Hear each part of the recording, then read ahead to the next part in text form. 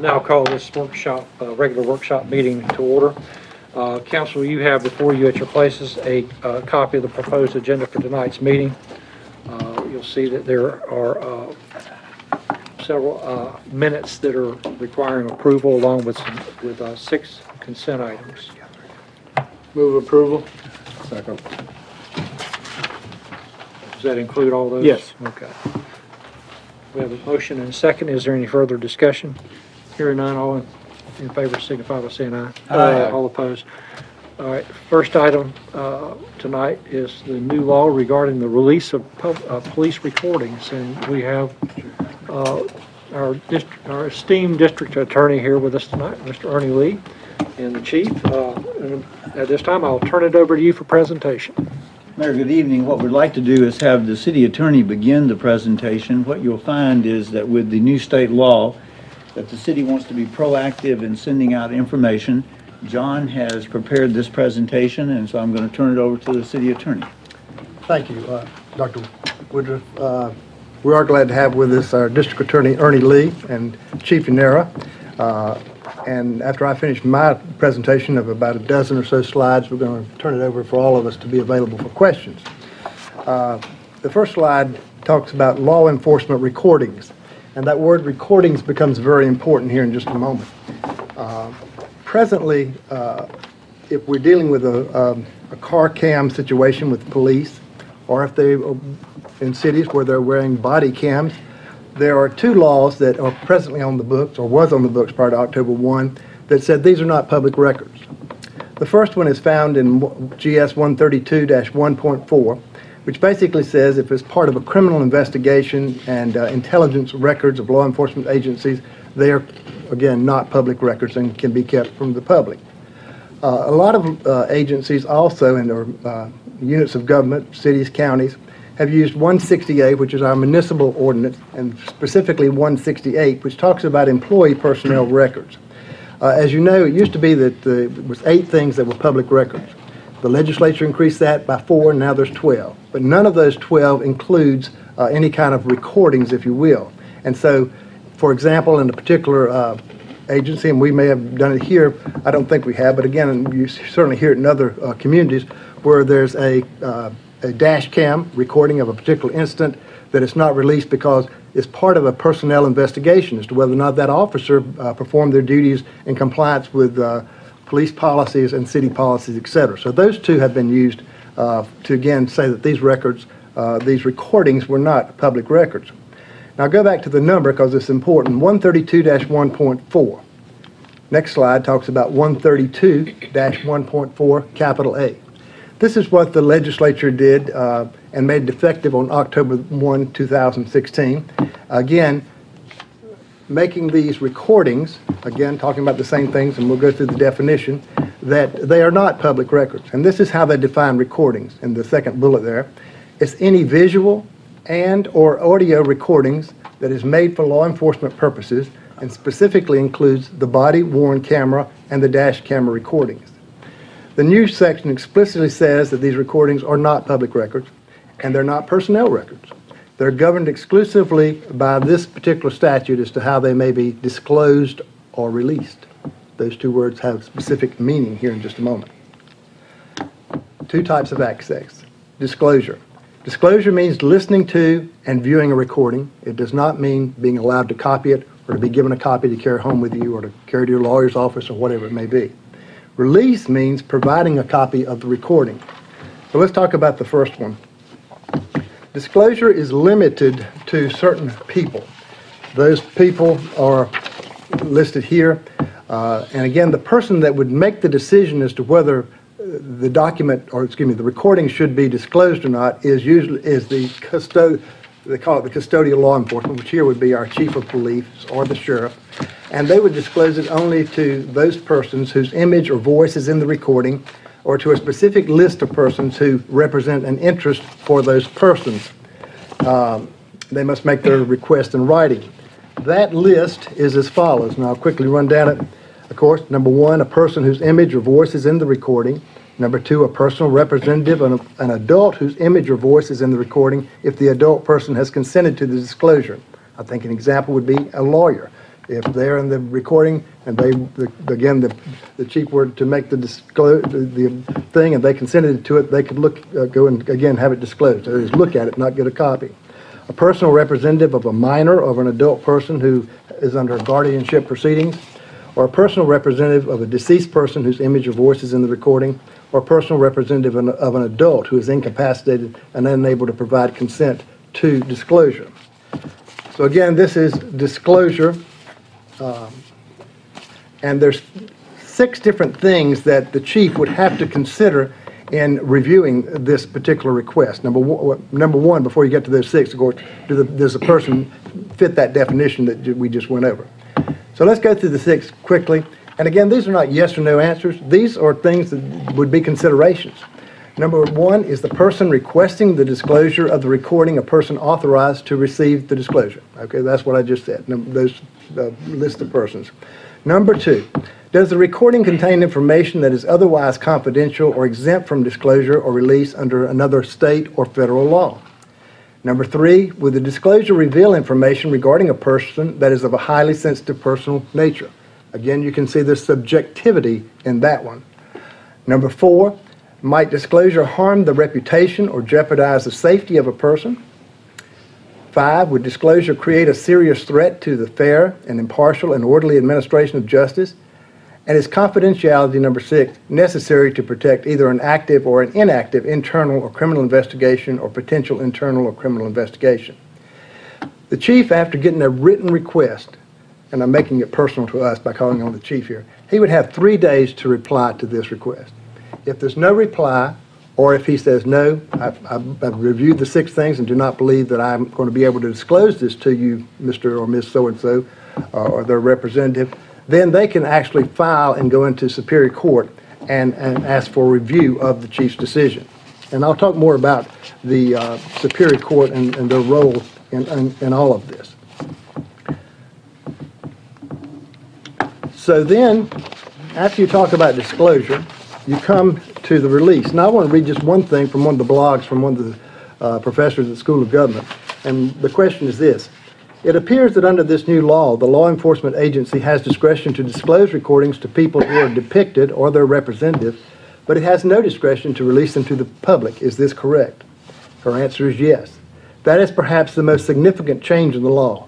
It's just the responsibility for public release of these records from law enforcement agencies to the courts. The court, when they, and again, uh, get a request, they have eight different factors to review. Of those eight, there's two that are different than the six we already went over, and I'm just going to highlight those two that are different. One of them is number three, that the person requesting release is seeking to obtain evidence to determine legal issues in a current or potential court proceeding.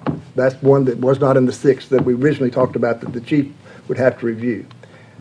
And then number eight, that there is good cause shown to release all, or all, and this is the language from them, and I'm not saying it's grammatically correct, but it's to release all portion of a recording. Um, The, and one of the things that's brought out in the blog uh, from the professor is also that uh, different judges, once they have this paper, this request, can make different rulings on the same request. I mean, again, there is subjectivity to the, the way uh, that, uh, again, that you review these different things.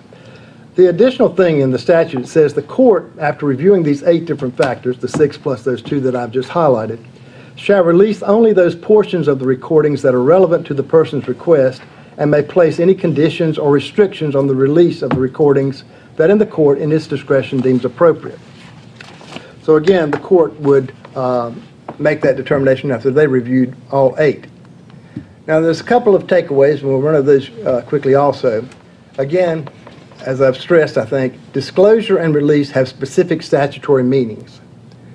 Second bullet, that the law enforcement agency has discretion to disclose recordings to people who are depicted or their representatives, but certainly has no discretion to release it to anybody. Number three, the law enforcement agency, again, has no discretion to release them to the public, and a court order will be required in accordance with the statute as we've gone over.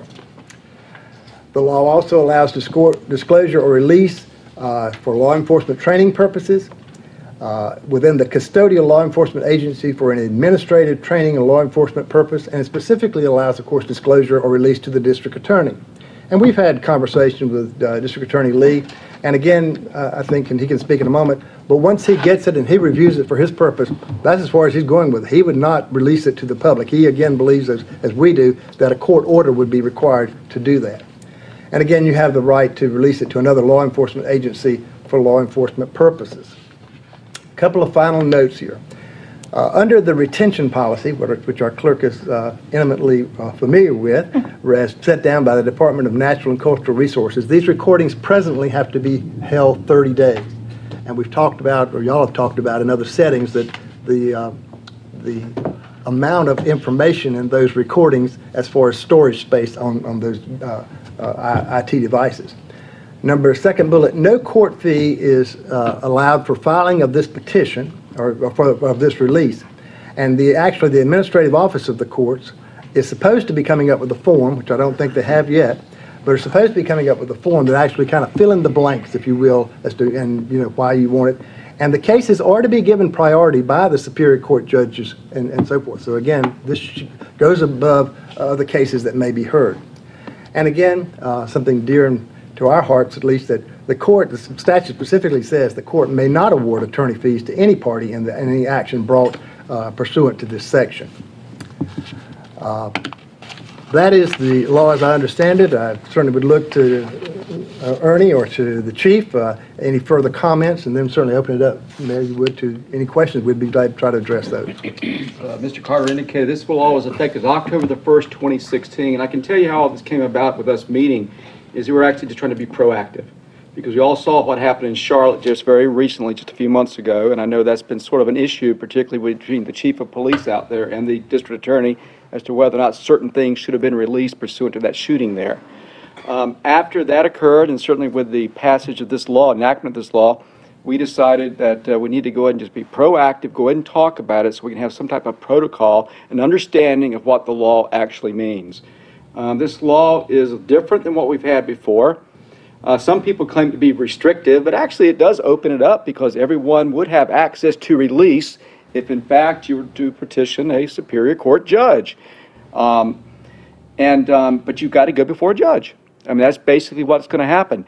Now, talking to the chief and also to Mr. Carter, that I can envision a disclosure and/or release, if there's some type of criminal investigation that is pending at that time, I anticipate I would probably be contacted. It's not absolutely required that I be contacted, but I would probably envision that, and the chief and I have worked together so many cases, that I would envision that I'd be contacted, and either myself or one of my assistant DAs, probably me, would go over, would meet with the chief, review the materials to make sure it would not impede any type of criminal investigation that is pending. Because obviously, we don't want to do that. But obviously, I think the legislative intent is they do want us to have disclosure to certain individuals, particularly those that are actually depicted in the video or recording. I think that is the intent of the legislature, unless there is some exception. Furthermore, release, I think, is the same way, but again, you've got the protections of a Superior Court judge. I myself cannot authorize release. I can view it, I can talk to the chief about it, talk to the city attorney about it, but I cannot authorize release. Now, I can go before a Superior Court judge and I can give recommendations. My guess is that if it's a criminal investigation, um, my recommendation probably would carry a significant amount of weight because I would assume the Superior Court judge would um, certainly be concerned about impeding an investigation and probably ask my opinion as to what, you know, what would be the results if we do release. Again, this is um, something that uh, the legislature has enacted. Um, I think it actually has some merit, though. I really do. I think it does give the option for those out there, particularly if you're depicted in the video or the audio, to see what is there. As we very well know, many times, particularly when there's body cams or other type of recordings, rumors start. And I think this will give away maybe some peace of mind to an individual who's depicted or recorded. They can go see what it truly is and not simply listen to the rumor mill. As to release, I also then also gives the protections to certain individuals out there where they can go before a judge and get it released to them. And I, well, my, I can just tell you from the district attorney, uh, represent the DA's office, I can tell you, I intend to work with both the sheriff and the chief of police in making sure the legislative intent is carried out with this statute. Ernie, Yes, let me sir. ask you a quick question here. Yes, sir. I know we've had this, uh, this dashboard camera recording in place for quite some time now, several years. Mm-hmm. Um, Has that been a problem in the past as far as the frequency of requests to have those released, or people asking to have those released? Um, Or is I- it something that's, how about when it's going to trial, is that something that's discoverable? Yes, well, okay, now discoverable, it would be discoverable. If there is actual criminal charges that have been brought out, have been instigated, and Jerome would know as well as anyone, then we must, we are by law required to comply with uh, the discovery statutes and provide that to the defense attorney. Of course, we have no control of the defense attorney, what he may do with that, but usually they'll obviously keep it to themselves and show their client. Um, In terms of whether or not it's come up before, I know it came up in one other shooting case. And, um, and I know the chief contacted me about that case immediately. We were on the phone shortly after it had happened. And, but we didn't have the guidance of actually the statute at that time. But I know at that time, we had to make decisions as to whether or not it should be released. And in fact, there was a criminal investigation pending at that time. There was also an internal investigation pending at that time. So we had to make the call, and at that time, I did not feel like it was appropriate to release. But again, now, there's going to be a little bit different about release, because now Superior Court judge will step in. If a, if a judge grants a release to an individual, are there restrictions on that individual, what they can do with the? Uh, As it said, the judge may put restrictions on that individual. That's right. Uh, You know, this is not to be disseminated, it's for you to take and show to your attorney, this is your copy, et cetera, or whatever the situation may be. But yes. uh, Or under- not, right? Yes, sir. It said, "May place any conditions or restrictions on the release of the recording that the court in its discretion deems appropriate." So yes, sir, the answer is yes. How far they would go would be up to the Superior Court judge. That's right, and I- and I suppose if in fact the court were to order release and then put restrictions upon those, and then you violate that, you'd be held in contempt of court. Uh. So initially, chief would make the call whether it can be viewed by Disclosure. the parties for- under the disclosure aspect of it. On a case-by-case basis, based on the criterias. absolutely. And I would take it, obviously, if it's a criminal case, I expect I'd be talking to the chief about it, like we Right. have in the past. So that doesn't change really. But uh, what does change is, is basically the disclosure or release have been now um, provided, defined by the legislature. And then secondly, we've got the added protection of a Superior Court judge. And I, I, I- I think it's a good statute. Um, Because there, if uh, someone can um, convince the Superior Court judge that uh, in fact it should be released, despite what I may feel, well, that still gives them that remedy. This is more, this is more aimed at a person wanting this recording versus, say, like media. uh, instead of the media. They'll probably do it from a different angle, correct? No, sir, they they would have to use the release section, uh, the media would. Now, the dis- the disclosure section, it wouldn't be applicable to them. They they have no right Yeah, to they go and view it. The chief would not, they don't fall into that list that I just read. Okay. But as far as the release, that's open to any person to make an application. It'll be up to the Superior Court judge to make a ruling as to whether or not uh, the the different uh, things here. And then also under the, under the discovery clause. The discovery uh, is is through the district attorney's office, and they have to comply with that and. With that, Yes, sir. That is completely separate and apart from this because by law, I would be required, if there's a criminal case pending now, I would be required by law to receive that information from law enforcement. And then by law, I am required to turn that over to the defense counsel for review. for review. And that way they can prepare their defense and also be familiar with all the evidence that may be presented against them. That's by law. So they precluded, say, like a media uh, outlet using uh, Freedom of Information Act to get this, uh, they can't do that? No, sir. Not, not, uh, now, freedom of information is a federal term, but uh, as far as public records, it is is exclusively governed by this unless there's other contrary statute, which again, they've said the personnel or the confidential investigative reports, that, they don't apply. I wonder uh, if you believe that someone, a di- a defense attorney might use this to expedite discovery, since it has to be expedited by a Superior Court judge. I'd be thinking about that for future thoughts, What does that mean? Let me add a couple of thoughts. getting documents. Let me add a couple of thoughts to that. the television has shown the nation, and certainly our community, various events that have been unfortunate. One of the reasons why we wanted to bring this workshop tonight, when John first brought it up to me, was people need to understand the state of North Carolina has its own laws. What some police department or district attorney does in Kansas City or New York City or Chicago, that is not our law. What we hope is that we will never be faced with the events that have happened in those other communities. But we also know that if we are unfortunate and that happens here, it is important for us to be proactive and to educate you and to educate the public. Because what we do is we have a tendency to say, well, I saw it on TV, so I assume that's what happens here. No. Just because somebody in one city, someplace else, released it, doesn't mean that that person's playing under the same rules that we're playing under. And given the fact that the new rules have gone into effect, we felt it essential, because it essential to bring hmm. this to you. When an event happens, there are going to be people who are going to come to us, the city. And when, as staff, we deny them certain things, they are going to come to you. They are going to go to the media.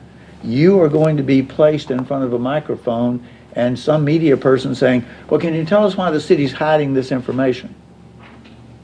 We're not hiding the information. We're abiding by the law.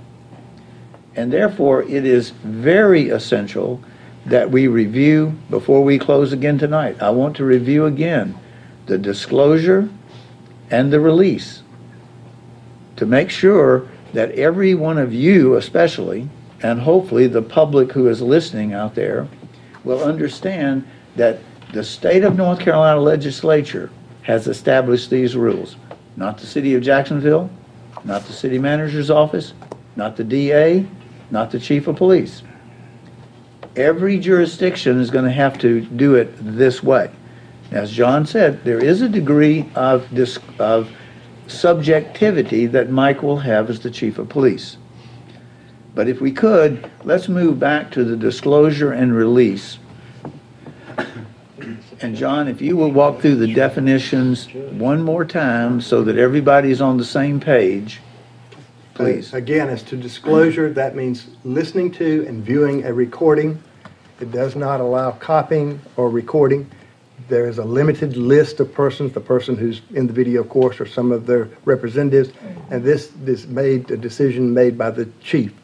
And again, if they don't like the chief, then they would, uh, his decision, they would go to Superior Court.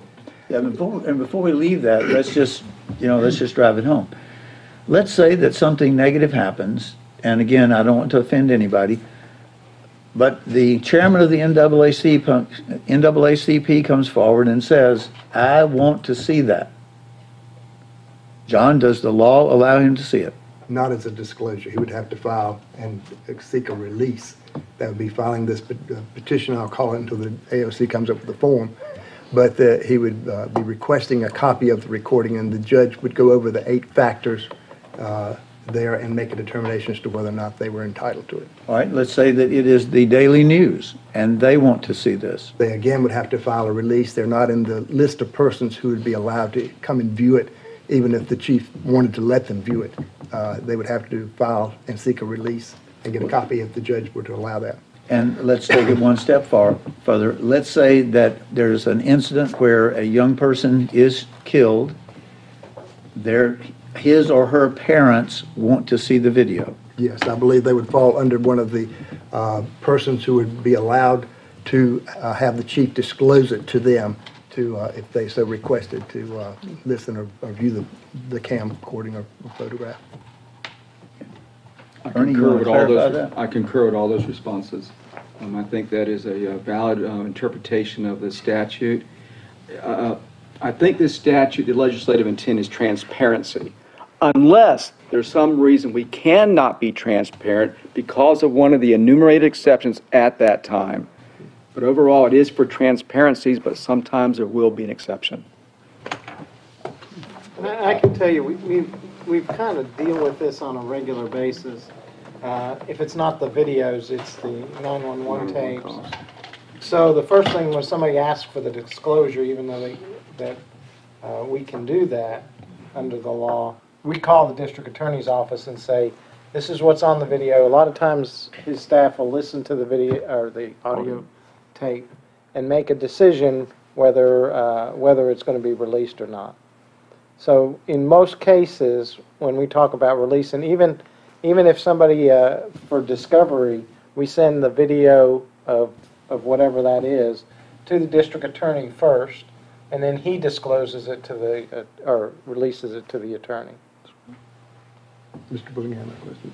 Mr. Williams? Your examples have been very good, but I um, think it might be helpful too if we use um, hypothetical, the Charlotte situation and different scenarios with, uh, I think the wife or girlfriend was, I guess, depicted in one of the videos that I saw, and you had the media um, being interested in the video, and you also had an ongoing criminal criminal investigation. If you could work us through that scenario, what would have happened differently with the legislation that we're under now? Well, first of all, disclosure would be appropriate for those that are actually depicted in the video, okay? Even if there's an ongoing investigation? Well, that's where they could be disclosed, it could be disclosed to them, although if in fact we believe that disclosure at that moment would, I, would impede the investigation. It's not to say it wouldn't be delayed. because- Impeded, how about impacting that person, a witness's testimony? Yes, absolutely. That's why I'd be concerned, Mr. Willingham, that, um, that it could impact testimony, because obviously we want law enforcement to interview these people, not to see the video first, then base their statement upon what they saw, but certainly what they recollect from first-hand knowledge of seeing the original event. So I could see that coming up. Um, Secondly, as to the press, though, you've got to go back to the release again, which then goes back to a Superior Court judge. Now, obviously, we can't stop someone out there who's out there filming on their own phone. That's completely separate issue, and I think some of that was going on out in Charlotte. We could not prevent that from a personal cell phone because we don't control that. That is controlled by someone else. Okay, now if you're dealing with the release situation and you got the media, Mm-hmm.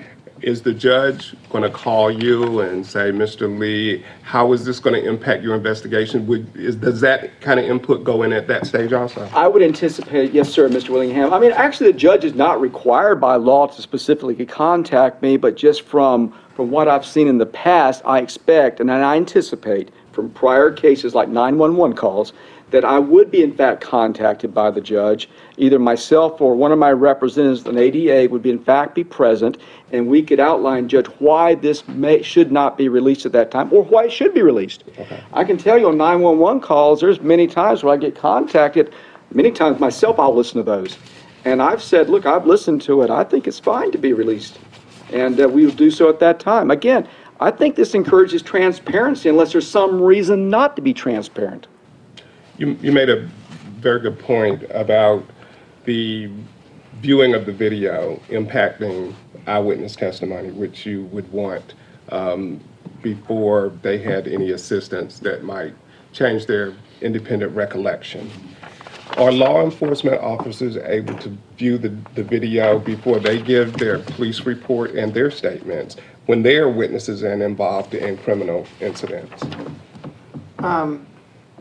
They can, it can be done. I mean, you can obviously review it, but it has to be done with a supervisor's approval. So when, when the video goes in, an officer can't view that video until the supervisor authorizes it. So our policy does not preclude somebody from reviewing that video. Prior to filling out the police report and giving their statement? prior to filling out the police report, not for giving out their statement. If they're involved in a, in a situation, then we expect their statement comes before the, uh, before they're allowed to review the video. So they're talking about two different things. Well, the police report is pretty much, as soon as the incident occurs, they're going to do the report. Right. Are they allowed to review the video before they do that report? Because that becomes their statement to a large part. They're allowed to review that, that video in that report. If they were, if they were involved in a police shooting, we would not allow them to view the video before they gave their official statement. So if it's a DUI case in particular, and they have the DUI case, they may review the video in order to make sure that they've, that, that they didn't, uh, uh, that they have everything in, in that report that's necessary. Some things they might have missed, like, for example, there was one particular case that I, I, I, I can remember where somebody took, uh, evidence and they threw it under the car. So the officer went back and reviewed the video so that he could see where that evidence, why that evidence got under the car. He didn't, he missed the, the, uh, the suspect putting the evidence under the car. But specifically, if an officer is involved in a shooting, the policy of the police department, of the city of Jacksonville, does not allow We would that not allow, officer. if an officer was involved in a shooting, we would, we would take that video immediately, and that video would not be released to anybody until it, until the district attorney, because in, in the case of a shooting or some, some case where an officer was uh, assaulted, or similar to that, that, we would not allow the officer to review that case, because, for example, a lot of times in, in uh, allegations of, of um, excessive force, we take that to the DA first, the video, and let them review it first to make sure that there's not going to be criminal, or potential criminal charges. In fact, in most officer shootings, the SBI is be called in immediately anyway, they're gonna seize the videos. Um, I just had that We issue. release, Yeah. uh, we release those videos directly, the, the officer-involved shootings that we've had, they have gotten the videos as, as soon as they arrived at the scene, and they come to the scene several, I mean, usually within 30 or 40 minutes. Mayor, in response to Mr. Willingham's question, one of the things I think is important to hear is that once this petition is filed, it has to be served on three individuals or agencies. Number one, the head of the custodial law enforcement agency. Number two, any law enforcement personnel whose image or voice is in the recording and the head of that person's employing law enforcement agency. And number three, the district attorney. So anybody who files one's got to serve the district attorney. And under number uh, six, under those, one of those eights, the DA would be able to argue or not argue that the release would create a serious threat to the fair, impartial, and orderly administration of justice. And uh, so again, he would be put on notice and given his opportunity to review it in the whole context of the investigation. I think that goes back to answering my earlier question about expedited discovery, because you got some defense attorneys, they want it today, not tomorrow, but sometimes you don't need to give it to them today, because there's other things that need to be done first for it to be, so you make sure that, you know, certain witnesses are not given an advantage like uh, uh, Mr. Lee pointed out. That was an excellent question, though, and, and actually, a lot of what you just talked about would be subject to cross-examination, too. And, uh, and I, and obviously, because there would be questions by defense counsel, at what point did you write this report? At what point did you view the video, in what order? And that would be an excellent uh, cross-examination, I think. The, the other thing too is those, when we, when we lift the video from the system, a watermark is placed on it, so it can't be duplicated. Um, It can't be, it can't be altered, and it it can't be, it can't be changed. Now, obviously, you could film it on the screen, but that watermark prevents the tampering of that particular video. Thank you. And I will tell you that in these officer shootings, to safeguard the integrity of an investigation, um, the SBI is going to be called in. Uh, We're going to get a- a neutral uh, agency, objective agency to come in and look at it. And, uh, and I can tell you the way we've done that in the past is the chief will obviously know about it first with the sheriff. I am then contacted, we concur about having the SBI come in. And uh, then, in fact, I really work more with the SBI at that time. I will receive a copy pretty quickly, and I'll go ahead and review it. And uh, again, that's to make sure the integrity of the investigation is, uh, is kept. And I'm going to tell you also, we want to make sure the rights of the defendants are protected. I mean, I have a duty to seek justice, and that means their rights being protected. And I want to ensure that's being done. I think that's a great point that you just talked about, because I think a lot of people do not realize that with these shootings that the investigations are, are done externally and not internally. Most people believe that those investigations are done internally. And that a lot of comments are, why don't they seek outside sources to do these investigations? And that's exactly what you just said, Yes. which is good for the public to Well, in hear. some agencies, they are done internally, but that does take away from the transparency. That's why we, for years, have, uh, well, I know the chief has, uh, for years used the outside agency, being the uh, North Carolina SBI, to do those investigations. Am I And, right? and I can tell you, even in, even in allegations of excessive force, that video, we, we take that video over to the district attorney, uh, as soon as, we- as, as soon as we can, for him to review it, to make a decision whether the SBI is gonna investigate it, or whether we'll investigate it. Most, more than likely, though, it's going to be the SBI, more than likely. Especially in a sh- shooting case. Absolutely, absolutely, because, um, again, we want to preserve, keep, that uh, there's an objective uh, investigation. I mean, I had one in Clinton recently, and I just finished that one about a month ago, and involved the Clinton Police Department as well as the State Highway Patrol. The SBI came in. I met with the SBI so many times about that, and I reviewed every single recording in that, which was many, many hours, to ensure that uh, it was a fair investigation. Then I made my findings, and released those publicly. Any other questions you have on this? I would like to, to commend John and thank uh, Ernie and Mike. We do feel it's important to be proactive in educating. We're going to work with Glenn Hargett to determine how we can put together certain educational material that can go on G10 so that we can continue to inform the public. Our ultimate goal is, number one, to hope we never have the event, but number two, have reached out and been proactive so people will understand the law if and when something like that happens. Any other And questions for again, the these main, the folks? main thing is to, to, to ensure transparency. You know, it's when you start being overly secretive a lot of times, uh, that's, that's when you run into problems like they did in Charlotte. Uh, You know, it's, it's a, per- it's a perception that people have, you know, even though it may be, you know, their official way of doing it, you know, sometimes the official way of doing it can look kind of bad. So I think this kind of helps that. to this law. Thank you for allowing us to be here tonight. Thank you very much. I do appreciate it. Can we take a five-minute recess and we'll reset? Five minutes. Recess. Is he? Ernie?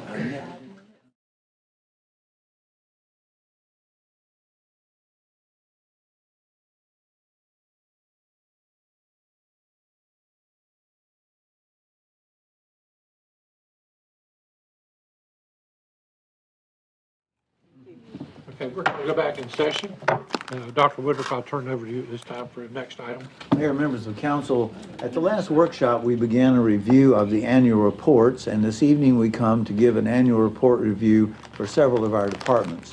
First up, we're going, it will be the Development Services area.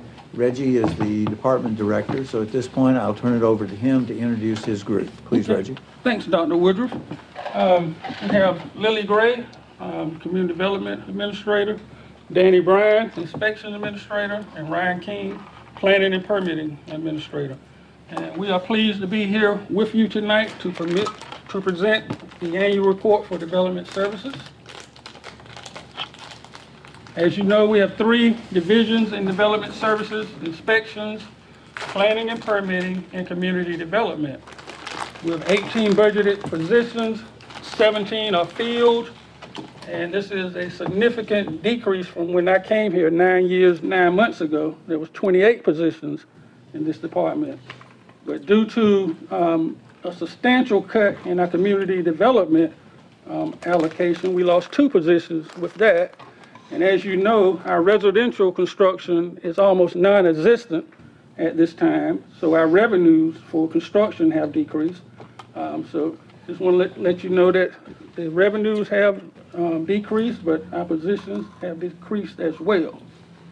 Um, We also support several um, advisory boards, as you can see on the slide, Community Development Advisory Board, the Planning Advisory Board, Board of Adjustment, and Lily assists with um, the two boards, Civic Affairs and Environmental and Appearance Board. First, we'll talk about the inspections division. The inspections divisions perform field inve- investigations to ensure structures are safe to occupy. They deal with um, state and city codes. Right now, they have the North Carolina 2012 International Building Code, and that code will be in existence for another, what's, what, six years, Danny? So 2018, you'll be going to an uh, update. Um, They also ensure that buildings are safe structurally and for fire protection, and that the ADA regulations are satisfied. We have certified building officials in five areas. Those are building, plumbing, electrical, HVAC, and fire. Um, Danny um, has a damage assessment team um, and this is a very important team after the storms, and as we all know, we had a recent storm, Matthew.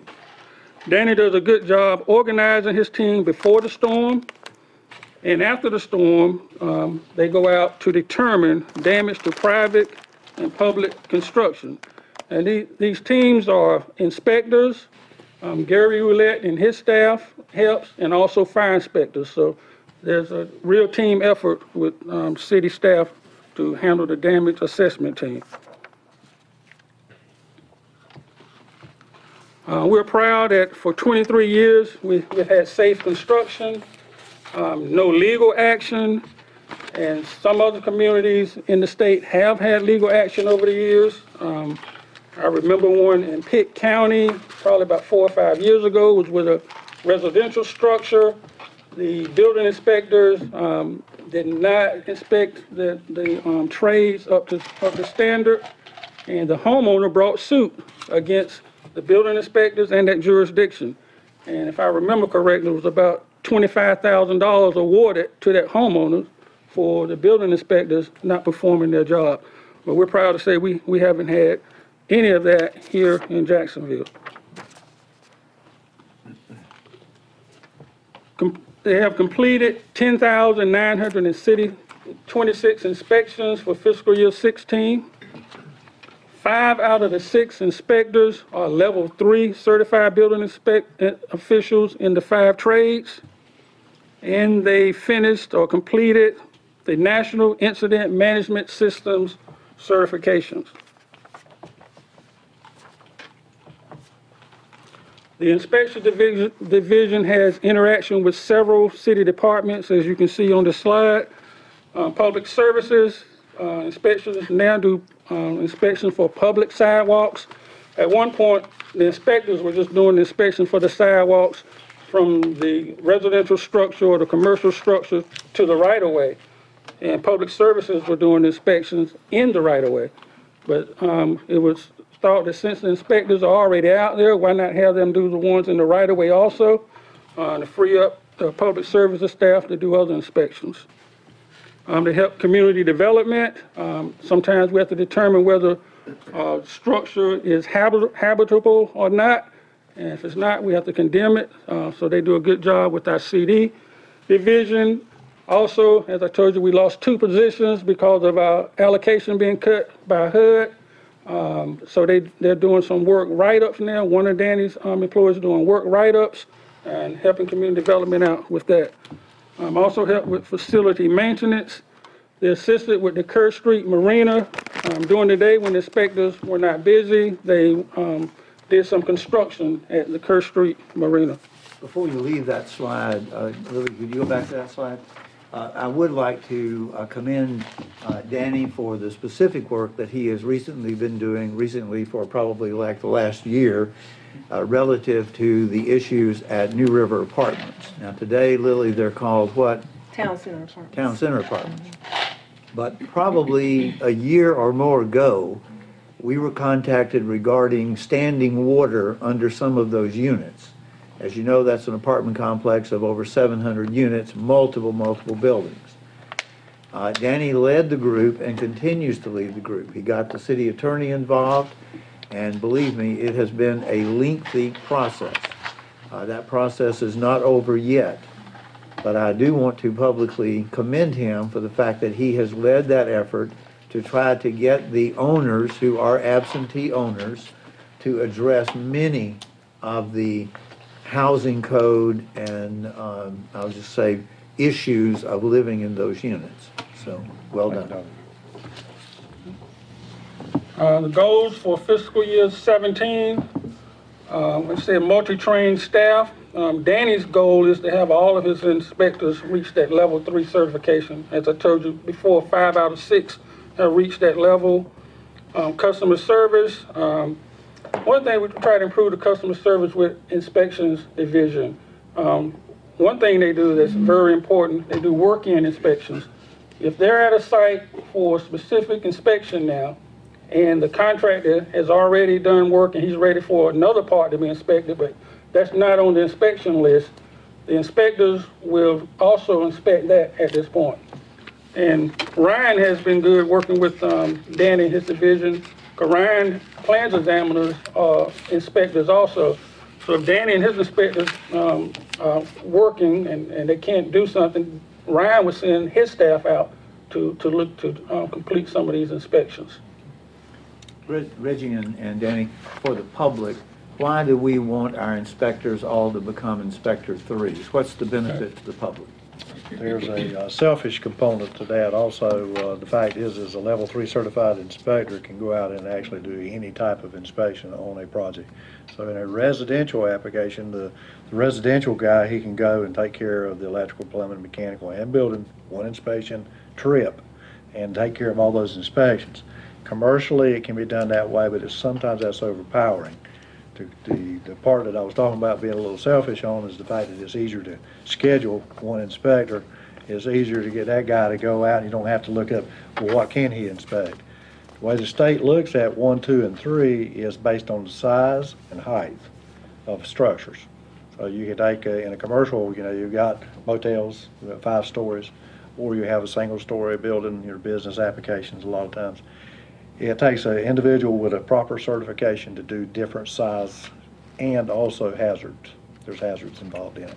So our goal is, is to keep that level three inspector on site, uh, to make it, uh, safer and also to enforce correctly. And again, uh, there are many communities where you will see three or four, three or four building inspectors on the same site. This is true. Uh, And people will say, why do you have all those people here? Well, it's because one certified as an electrician, the other's structural, the other's plumbing, but the three E's that you have stressed, we've taken that to heart, and the inspectors have the ability, one person, to do all those inspections. Out of curiosity, does, um, say like if you have a project, say for instance, this Academy Sports, just because it's up on the screen. When you, uh, when you're working that project, is just one inspector It's capable, responsible for that one project? Yes, but that was too large a project for one inspector to take care of. We divided it up into two, two separate inspectors. Uh, because, uh, if you go inside, you'll see how large it is. It just does not look that big from outside. It, it is big, but it's even bigger when you're trying to do all the components that are involved. So we tag teamed on that one. Mayor, let me address that a little differently. On, several years ago, we received complaints in that uh, one inspector would come to a job and he would tell them such and such, and the, and the next day a different inspector would come. We talked to Reggie and Danny, and what we now try to do is whoever the inspector is, that we try to send them back for the same jobs. Now, sometimes that's not possible. Their schedule may be tied up and somebody wants, wants an inspection right away, they will send the other. But Danny, talk a little bit about that. Well, that is true. Uh, Vacation has something to do with it. Uh, Some people have to go on vacation once a year. So there's some factors that uh, you can't control. Um, Being able to send an inspector out to do an inspection pertaining to that location, the contractor likes it better because it actually takes a lot of weight off of him. They build a relationship. Uh, And once you build a relationship, it's a kind of a trust uh, type application. The inspector can retain that information from the last inspection he had. So if, let's say for the hospital or the academy, whichever one, if I was to go behind another inspector, I have to kind of review the drawings from the beginning. Okay, whatever the inspection is that I have to do, then I have to review more, spend more time in the field, do more, you know, trying to figure out what's going on. Uh, by having one guy doing the work, it just makes it better for both the, uh, the, the building uh, contractor and, uh, us, to be honest with you, because we can keep one person there. Don't don't you have a program where- where you're, if you have a situation like that, where the one inspector can go back and look at what's been done up to a point? You're talking about the software? Yes, we can review the- that particular application to see who else has been to that location, determine notes, whatever that is. But see, the, in a hospital application, when there's so many inspections to do, electrical, mechanical, and plumbing, those things are per floor or per area. Uh, Wards and, you know, then individual rooms, you know, you can get lost inside the hospital. So the, the fact is, is there's a lot of complicated information that needs to be remembered, and we do document our own stuff that you're talking about. Uh, and if I was a follow up, I could get the inspection done, but it may take a little bit longer. So the documentation is shared documentation? Yes, it is shared documentation.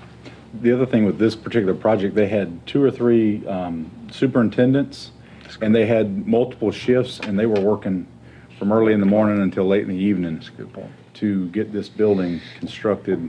They, they want to be open by the 17th of November, so. Yeah. um, I want to say it was about a three-month build time. I mean, it went up overnight. Yeah, we take in consideration the fact that uh, contractors and owners want to come in and build quickly. Uh, We try to provide after-hours inspections, we do provide that. There is a fee attached to that, but uh, matter of fact, on the 15th of next week, we have a bank that's going to request us to come in after hours to do a smoke test on some equipment that they're changing.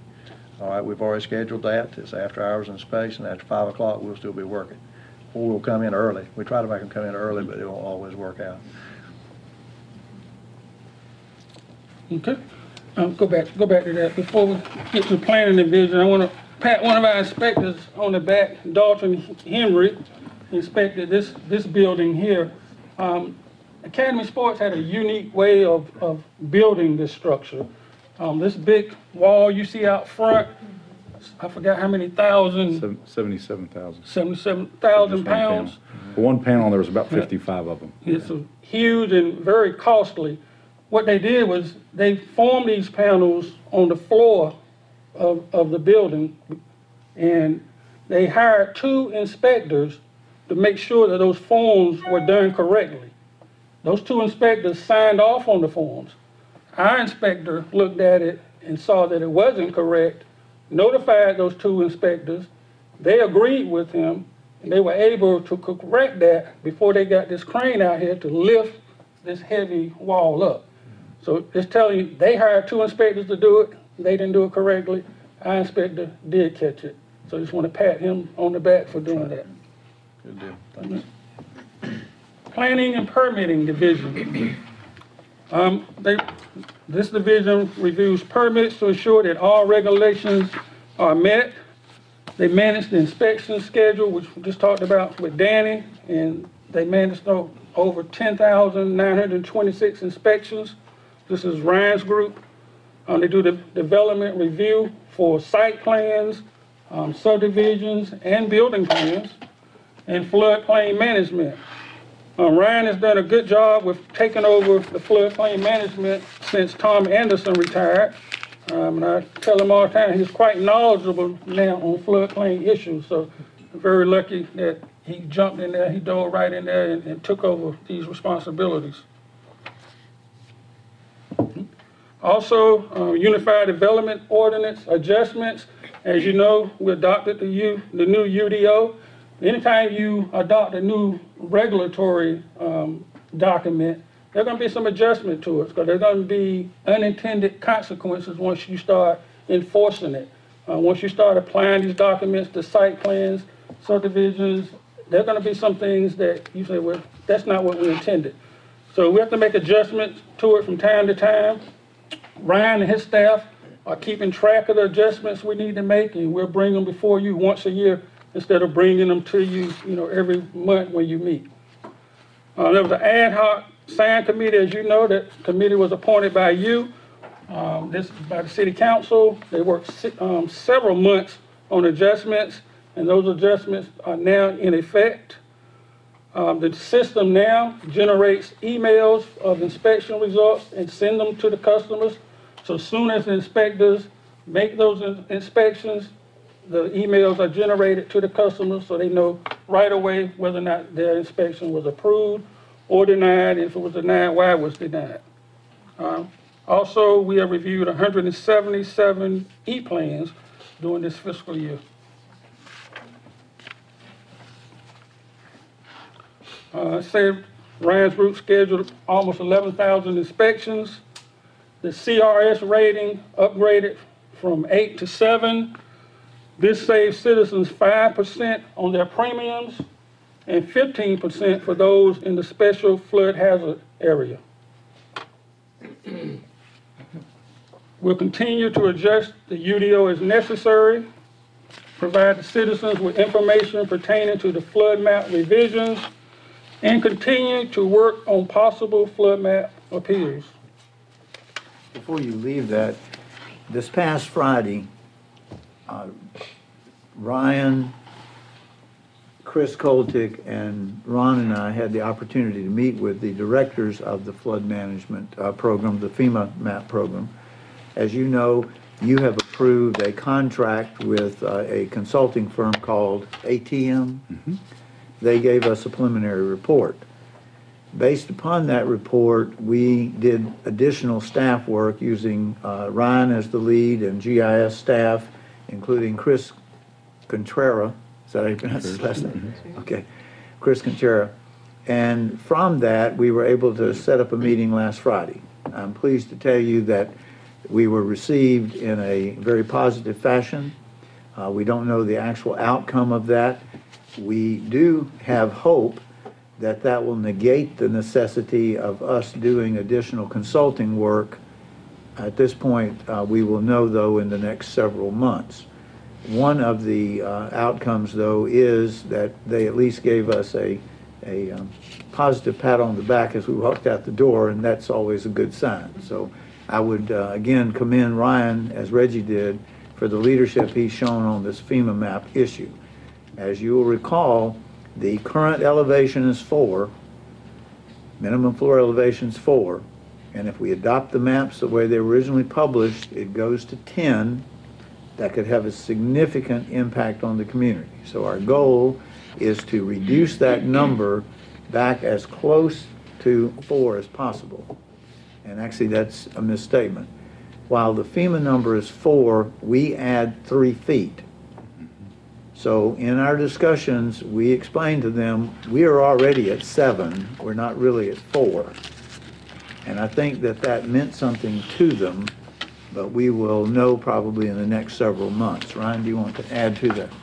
And Dr. River, I think that, that did a good job explaining it, that- that we do have the three-foot freeboard requirement. A lot of communities in North Carolina only have a one or two-foot freeboard. So we're already, you know, on the highest end of that additional elevation when a house is constructed to elevate above the base flood elevation, so. Reggie? Okay. Community Development Division, you see here, um, everyone's smiling because we got a new home built and some new homeowners that probably would not be home, homeowners without this program. Um, you know that community development does more than just provide homes, but, um, the citizens, as they're listening, they'll, they'll find out that, um, what other things that community development does. Like the splash pad, as you, you see here, um, Community Development uh, provided funds for that. Also, that's Georgetown Park, over in Georgetown, the park, where they have the equipment and the walking trail. That was done with community development funds. The accomplishments for fiscal year 16 expended $1.2 million, demolished 18 dilapidated structures, and now we're up to 94 um, since Dr. Woodruff has been here um, funded the installation of sprinkler system and parking lot improvements at the new homeless shelter, funded Jack Amyette splash pad, as I stated earlier, in Georgetown Park. Also funded the installation of seven bus shelters, uh, completed construction of three new homes, and gave, um, assisted those homeowners with down payment assistance, um, totaling seventy-five thousand dollars. And the homeowners, they definitely wouldn't be able to afford the homes without this down payment assistance and the public-private, um, program that the city initiated. Also funded six nonprofit organizations to help them provide services and programs um, to, to the citizens. Some of the services they provide, you see on the screen, is transportation, homelessness, domestic violence, rapid rehousing, utility assistance, and after-school and summer camp programs. Code enforcement, code enforcement is a section in community development. These are the accomplishments for fiscal year 16. Um, You, you can see that the numbers are down from 16, uh, fiscal year 16 from fiscal year 15. And our story is, and we're sticking to it, is that we've done such a good job in 15, we don't have as many violations in 16. Um, well, let me, let me address that. One of the reasons why we don't is because we do, but we have a system that is proactive. When a code violation comes in and we find it's a repeat offender, we simply set them up to get it done. And I'll give you an example. There was a medical office, I won't mention which one, a medical office uh, went out of business for various reasons. I believe that it was Mr. Thomas called us and said, if you haven't been by that medical office, you know, the grass is up past the knees, something needs to, needs to be done. That was a Friday morning at about nine o'clock in the morning.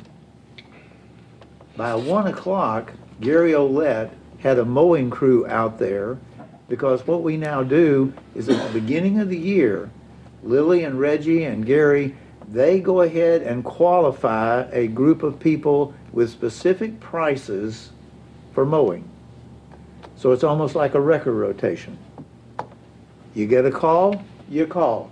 If you're next up, you're next up. If you can't come, Gary goes to the next one. If he can't come, he goes to the next one. By three o'clock that afternoon, that place had been mowed. And then it was remowed and remowed and remowed until just last, two weeks ago, I think it was, that property was sold at auction. Now, how does the city get its money back? Through the city attorney.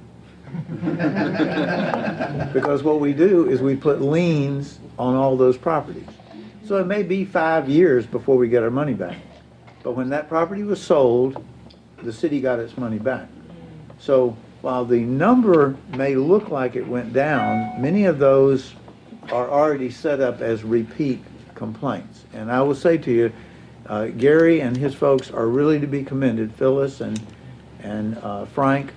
And what I will also say to you is that I believe it's Tuesday of next week, whatever political signs are still out there will then be picked up by our code enforcement people, and we'll have the beauty of the city returned to us. But well done by your staff. Thank you. We won't create individual cases for those either. accomplishment. This slide shows the sources of complaints. Um, citizens' complaints are up just slightly. Um, employee complaints have more than tripled, three, three fifty-five, it was hundred and fifteen, and I mean, that's a good thing, because we have, we have city employees out while they're doing their job and they see violations, they're letting us know, that helps our, um, three inspectors out. Um, let's see, the, the, the C officer, the code enforcement officer complaints were, were down, um, from seventeen fifty to nine hundred and twenty-six. Livable neighborhoods. Um, this is a program to bring neighborhood residents together to solve issues and concerns in their neighborhood. And as you know, this is a program that, that the city council did approve. It's, um, it's finishing its first full year of operation. Um, They developed citywide teams, organized two neighborhoods, the Bayshore Estates neighborhood and the Bell Fork Homes neighborhood. Um, Some of the accomplishments with the Bayshore Estates neighborhood is they adopted bylaws and established criteria for their neighborhood.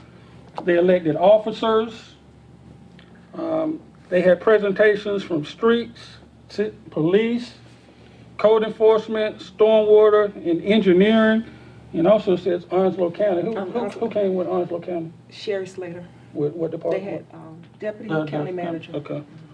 Questions about the health department construction. Okay. And Bayshore Estates has actually launched a website, so they, they are definitely involved. Um, the accomplishments, neighborhood sweeps and code violations were corrected. Drainage ditches were cleaned and several streets were paved in the Bayshore Estates community. Bell Fork Homes, this was an existing organization, but they agreed to participate in the program. Formerly, they were recognized during the city council meeting. Their accomplishments, some of the same neighborhood sweeps and several code violations were corrected. Um, line of sight issues were, um, abated on the Greenway Trail. And drainage ditches were also cleared in Bell Fork Homes.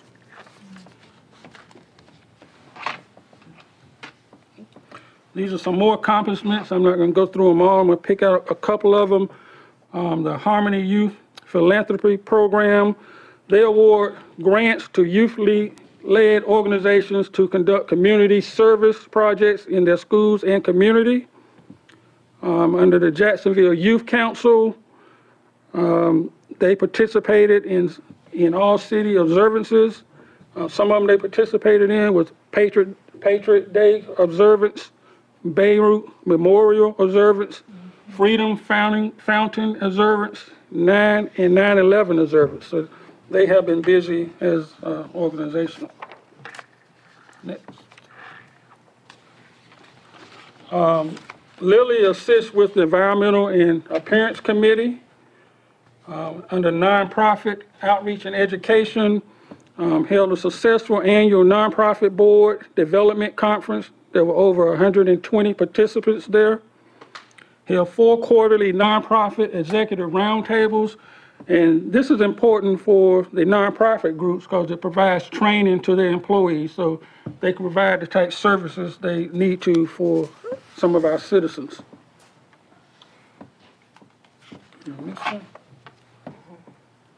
Okay.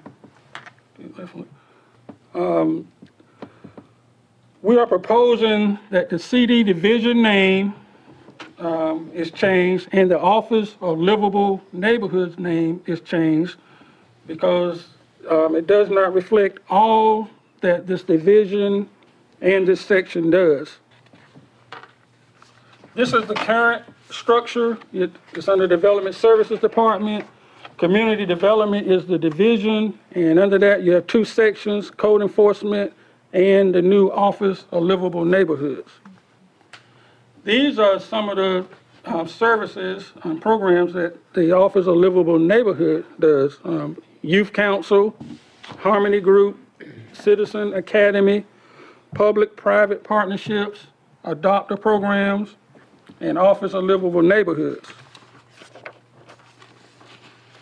This is the proposed organizational structure, still Development Services Department.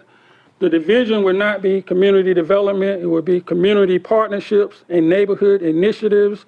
We think that name better explains what the um, division does. And under it, community development now will become a section. Code enforcement will remain a section. And the Office of Livable Neighborhoods will be changed to Office of Community Programs and Livable Neighborhoods. Um, This is something that we want your feedback on. It's not- nothing that we have to do tonight, but we would like your feedback if you think this is something we should go, go forward with. Anybody have any objections to it? It has no budgetary issues. It's really what we think, based upon the success of the Office of Livable Neighborhoods and looking at what the personnel in this area uh, actually accomplish, we believe these are more appropriate titles. Do you have any objections to us proceeding with that? Okay.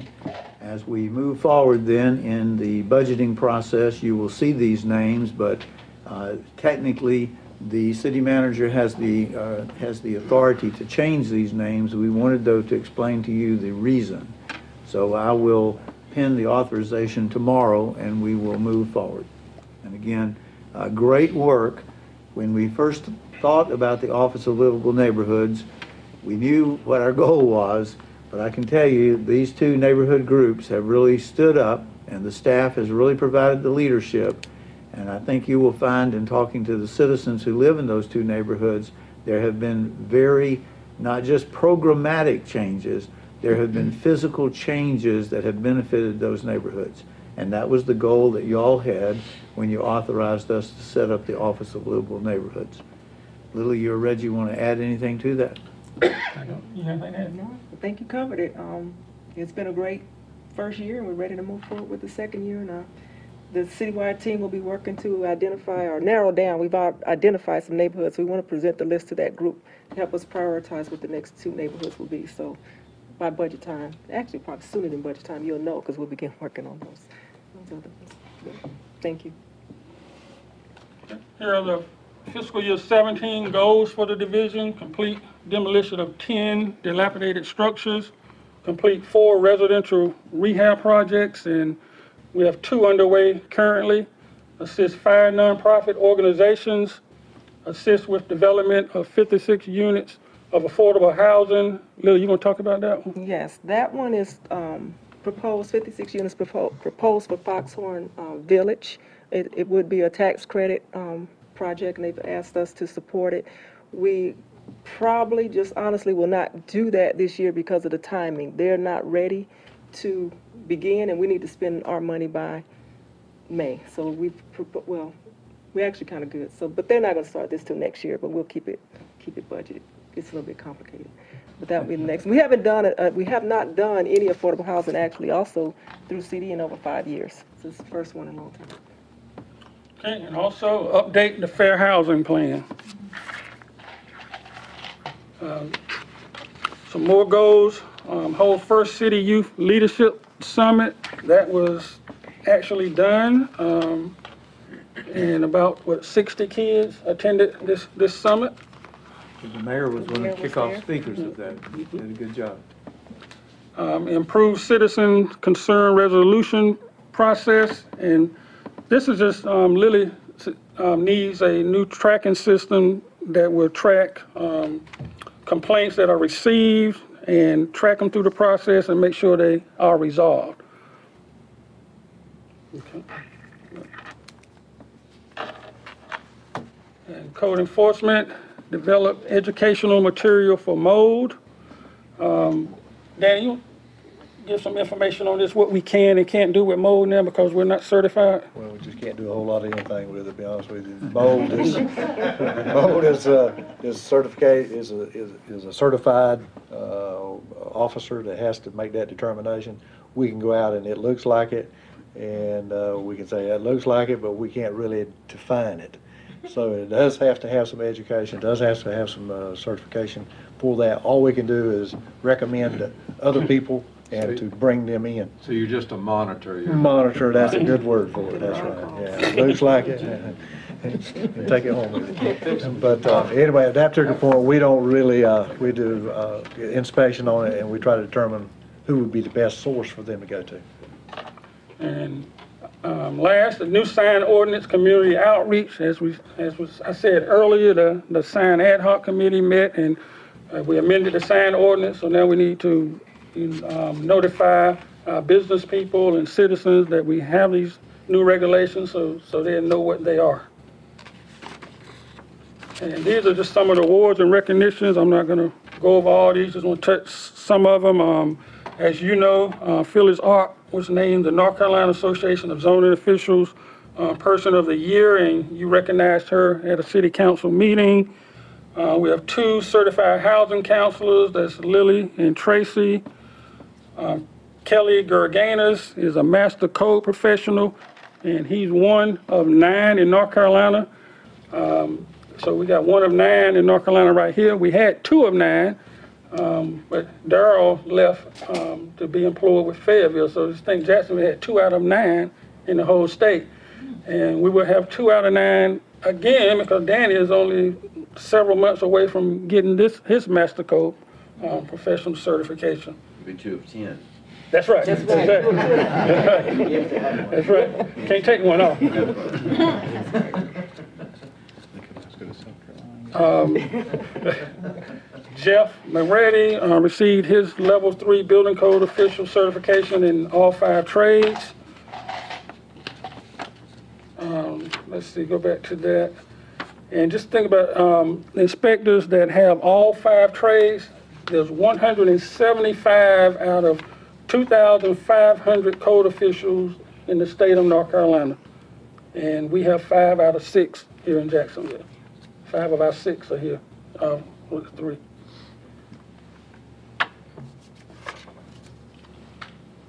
Um, Cheryl Strickland is also on the Onslow County Minimum Housing Board of Appeals. I'm not gonna go all of them. Gary Roulette serves on the North Carolina Association Zoning Officials Certification Committee. Tracy serves on the Board of North Carolina Community Development Association. Lily serves on the Board of Affordable Housing Group. And Camilla George serves on the North Carolina Philanthropy Journal Advisory Council. And that's the end of the presentation. If you have any questions? Very good, thank you. If you'd like to take a two-minute stretch while we change the uh, participants, feel free to do that. Next up is going to be recreation, uh, transportation rather. Well, actually, there's only one person for transportation, so we'll just bring them on up. Good job. Good comedy relief there, Danny. Appreciate that. Oh, bro, oh, you all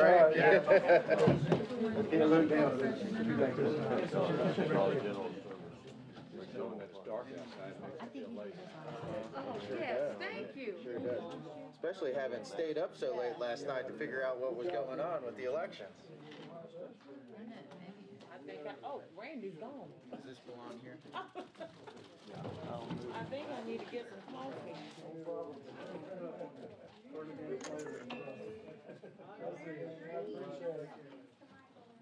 The boys are growing.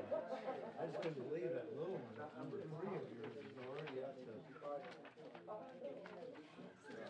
What? Gonna be fast? You want me to?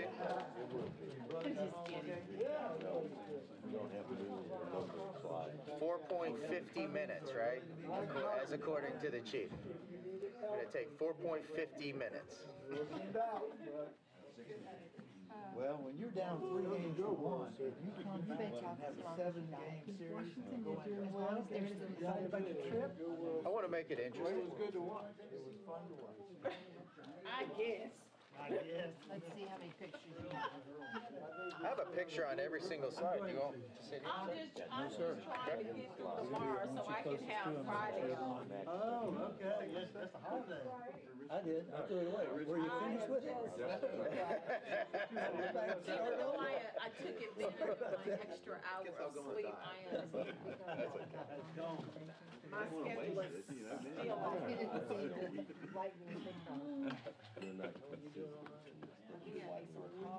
Yeah. Nice meeting you, Dwayne. Well, What's our chair? Oh, we just, it doesn't bother me, as a matter of fact, it makes me sad. Yep. Yep. You ended up, you end up with a second one? Been drinking out of Richards? He's up in DC. They all are. So even Milan was um, living in Silver Spring before she came to state. Yeah. I called about um, about one o'clock um, the other night. Did you, uh, 'Cause I was Richard, did watching you TV. see, uh, Reggie was trying to use This some was Clemson Monday math and, the uh, he, election. he caught him on it. Caught him on it? Yeah. Oh, in North Carolina State. Well, Reggie went to ECU, didn't he? Really But, enthusiastic. but, but Dr. Woodruff taught him all he knows about. Is that right? so. Yeah. To, to get in, and so, um. I He was runs a, to he see if runs a was in remedial there. math class for city employees. It wasn't. I haven't received that invitation yet. She told me she was Thing not is, watching TV. Uh, Right now, I'm only on the hands. Next week, we go to the advanced course and I take off my shoes.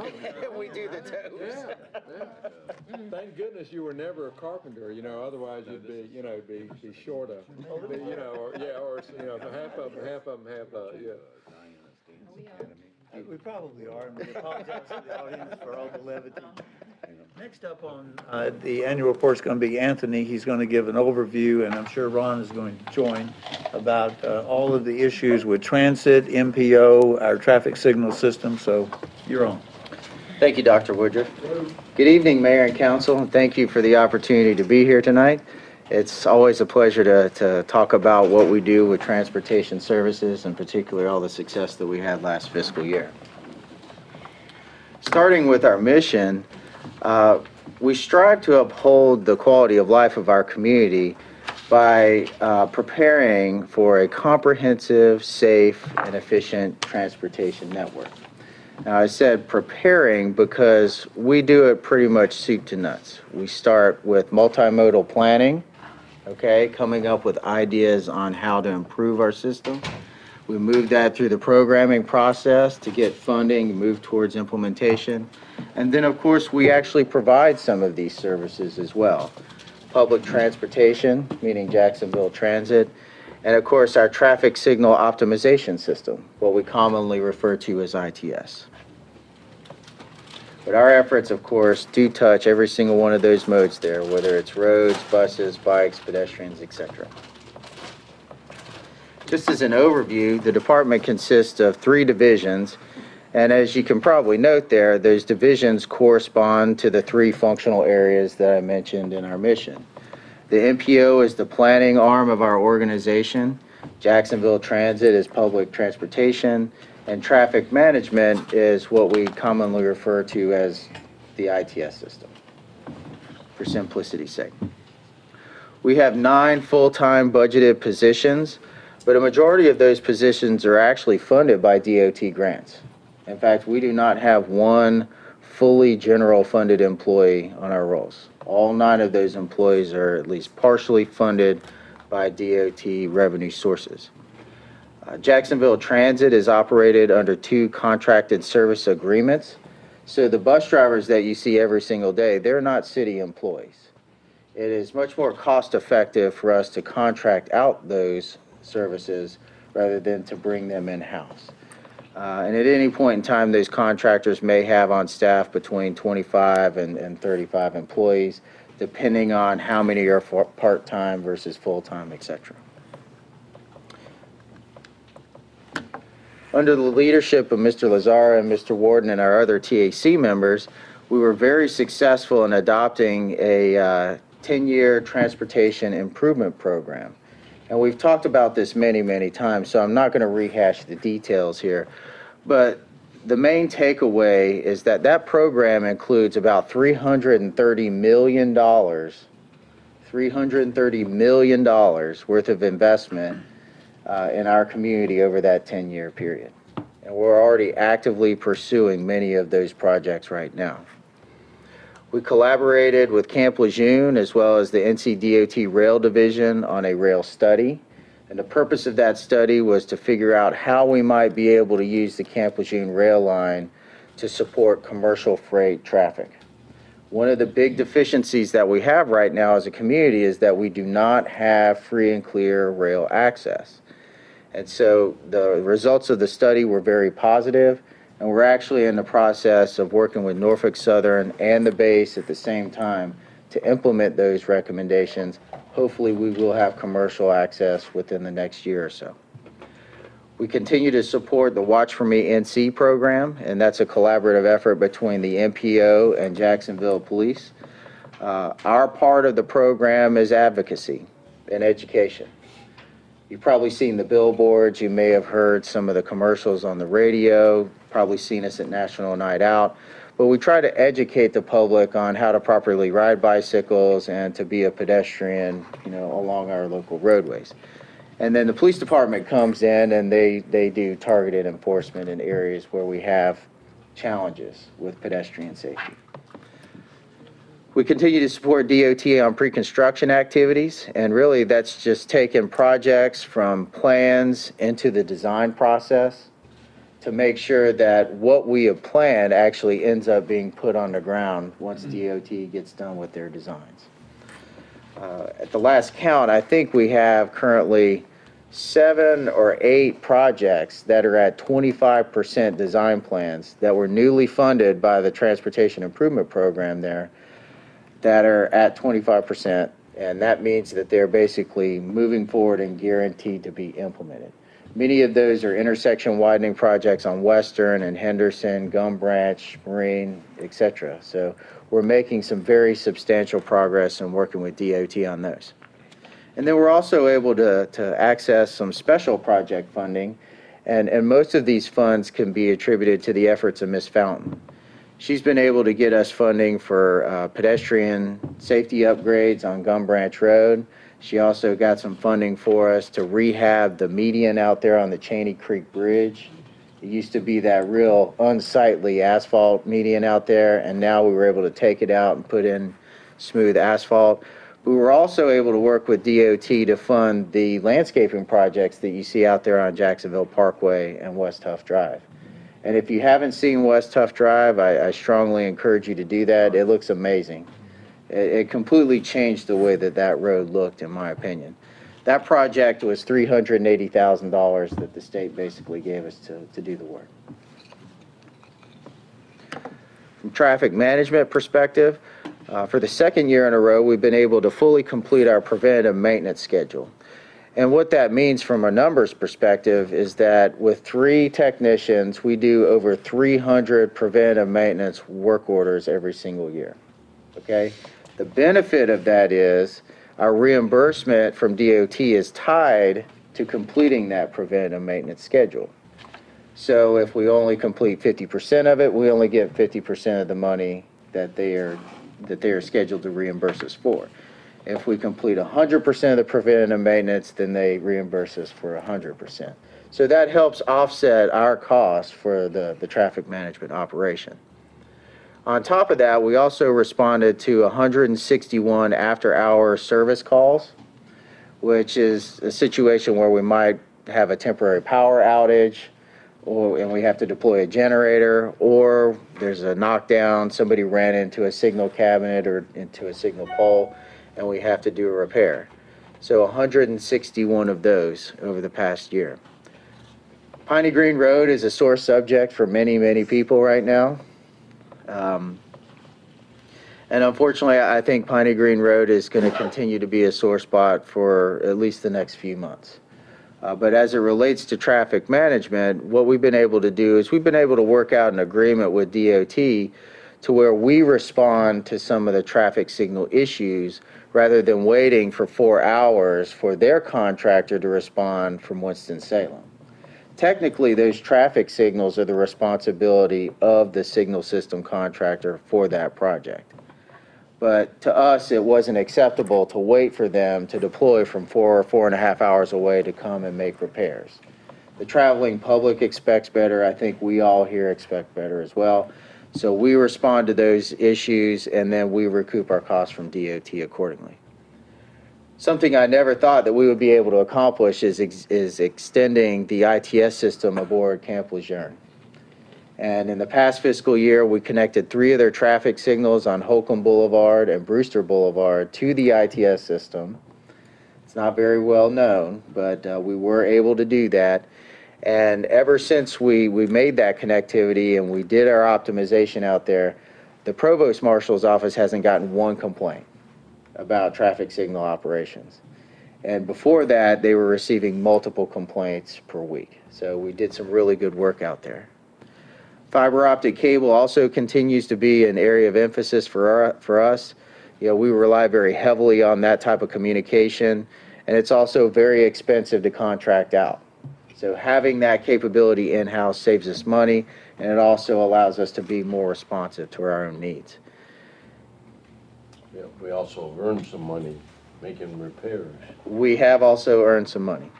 It's not what I would consider big money, but uh, we have earned some money working for DOT, relocating some of their fiber, making some of their fiber repairs. And uh, we don't take a, a large profit off of it, but we also don't lose any money off of it as well.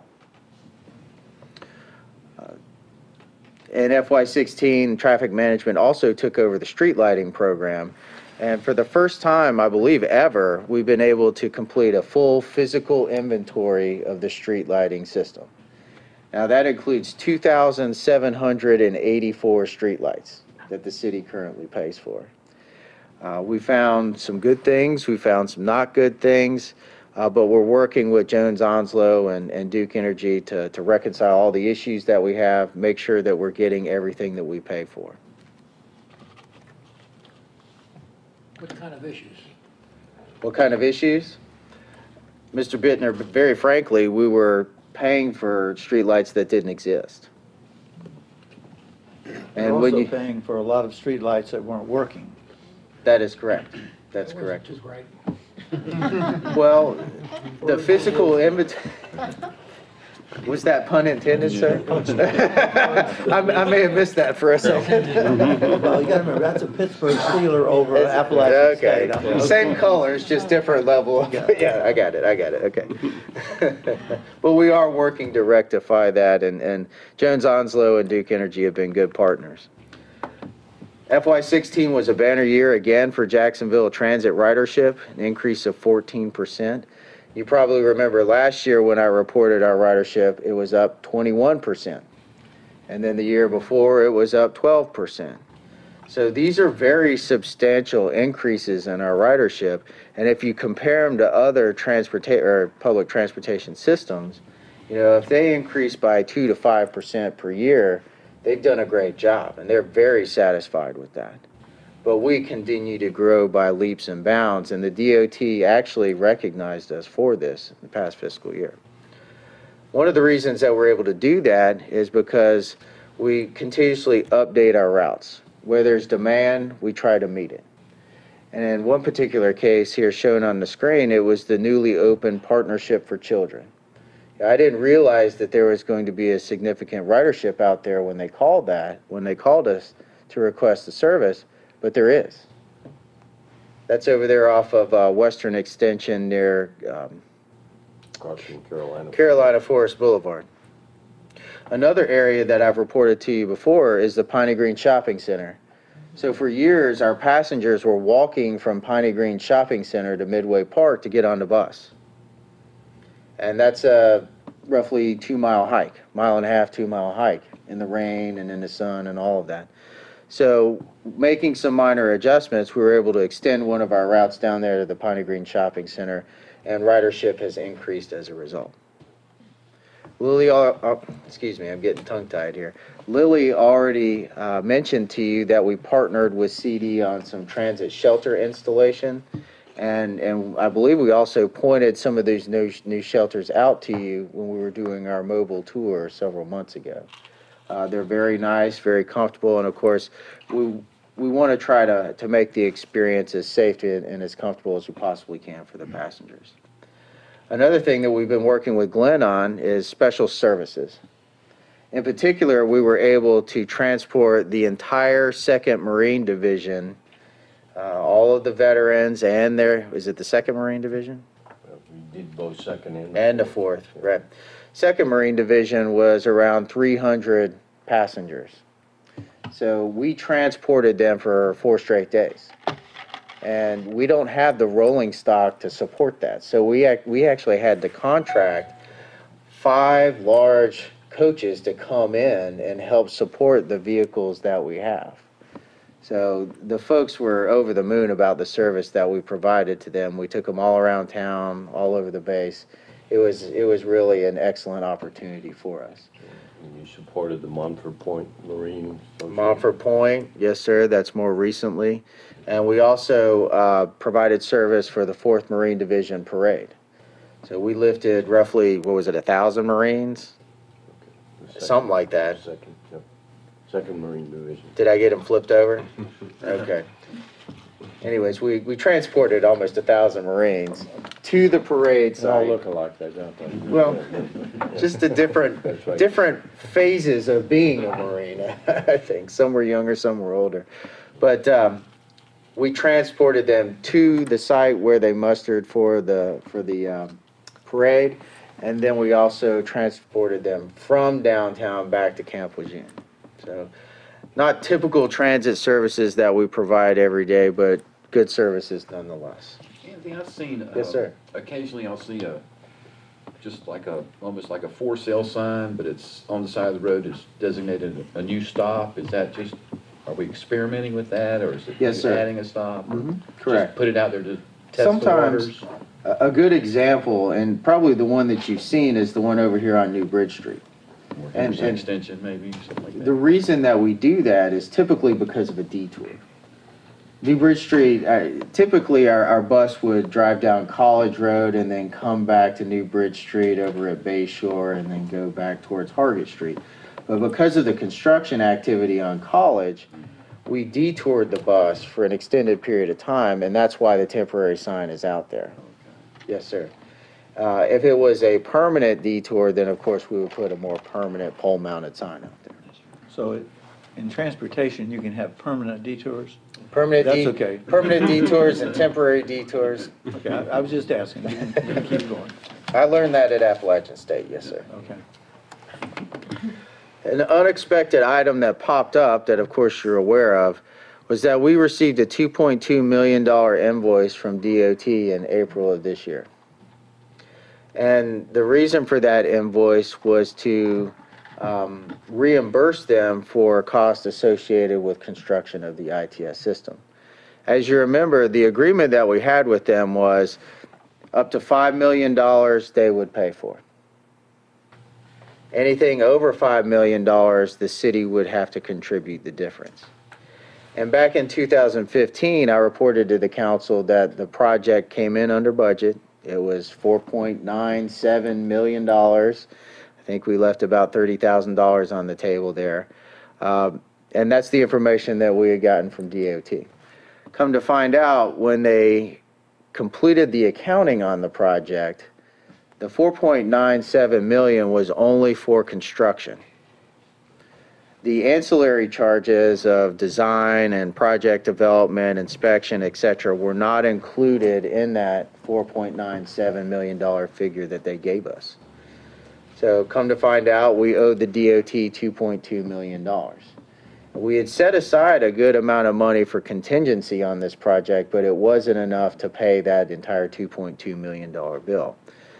Recognizing that, uh, I engaged with uh, Karen Collette, our division engineer, and said that, hey, we're in a bind, can you help us figure out a way around this? We need to cash flow this, if at all possible.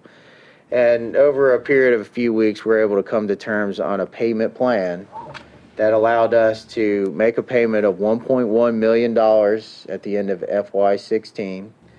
And then in FY '17, we'll make another payment of $500,000, and then, and again in FY '18.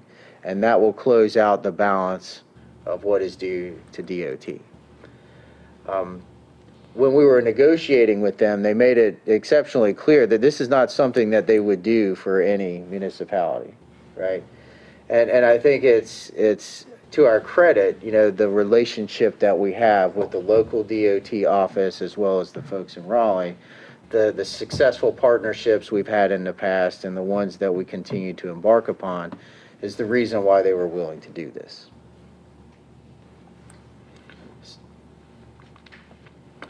Moving forward into FY '17, we want to complete the downtown circulation study, and I believe we're on task to talk about that at the next council workshop. We've got some really neat pictures to show you, some options to discuss, etc. Um, We also want to continue to expand the Camp Lejeune ITS integration.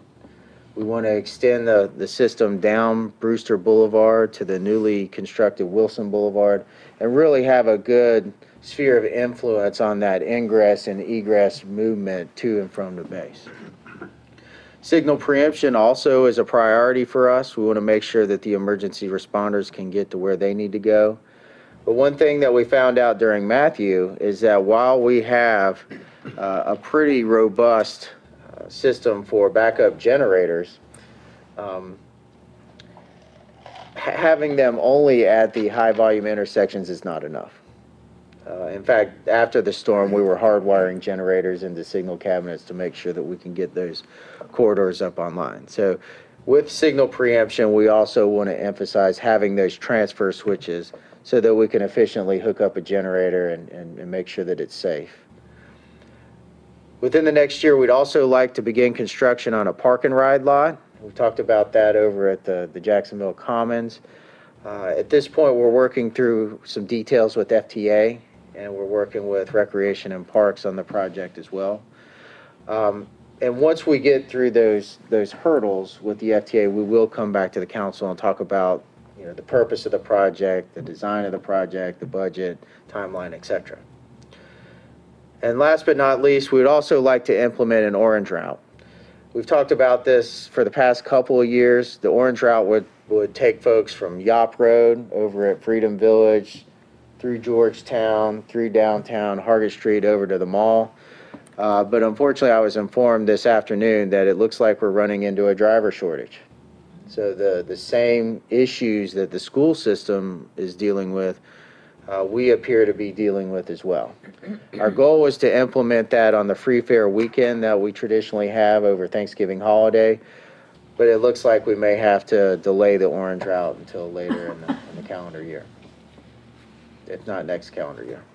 Before you leave that, we do want to ask council again, it's historically been your practice to have a free ridership for the Thanksgiving weekend. That would start when?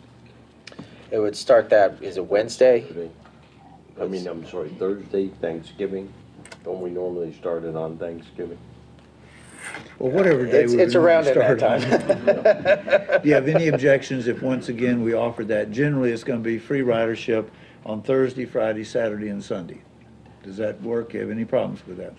I think it's a good idea, it gets folks into town shopping for the uh, holidays.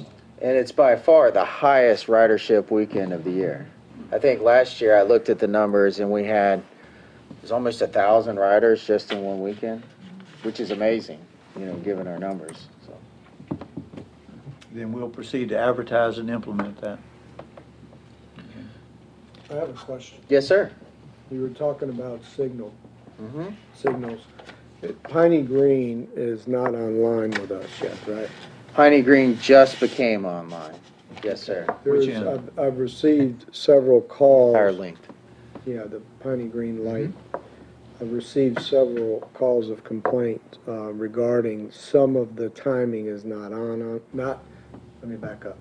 Some of the uh, signals, the turn signal is Mhm. not activated. Right. So it's just a straight thoroughfare.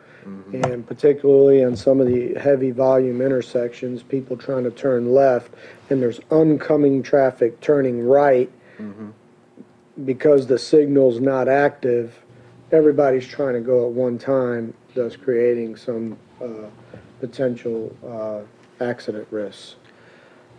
Piney Green Road is a challenge.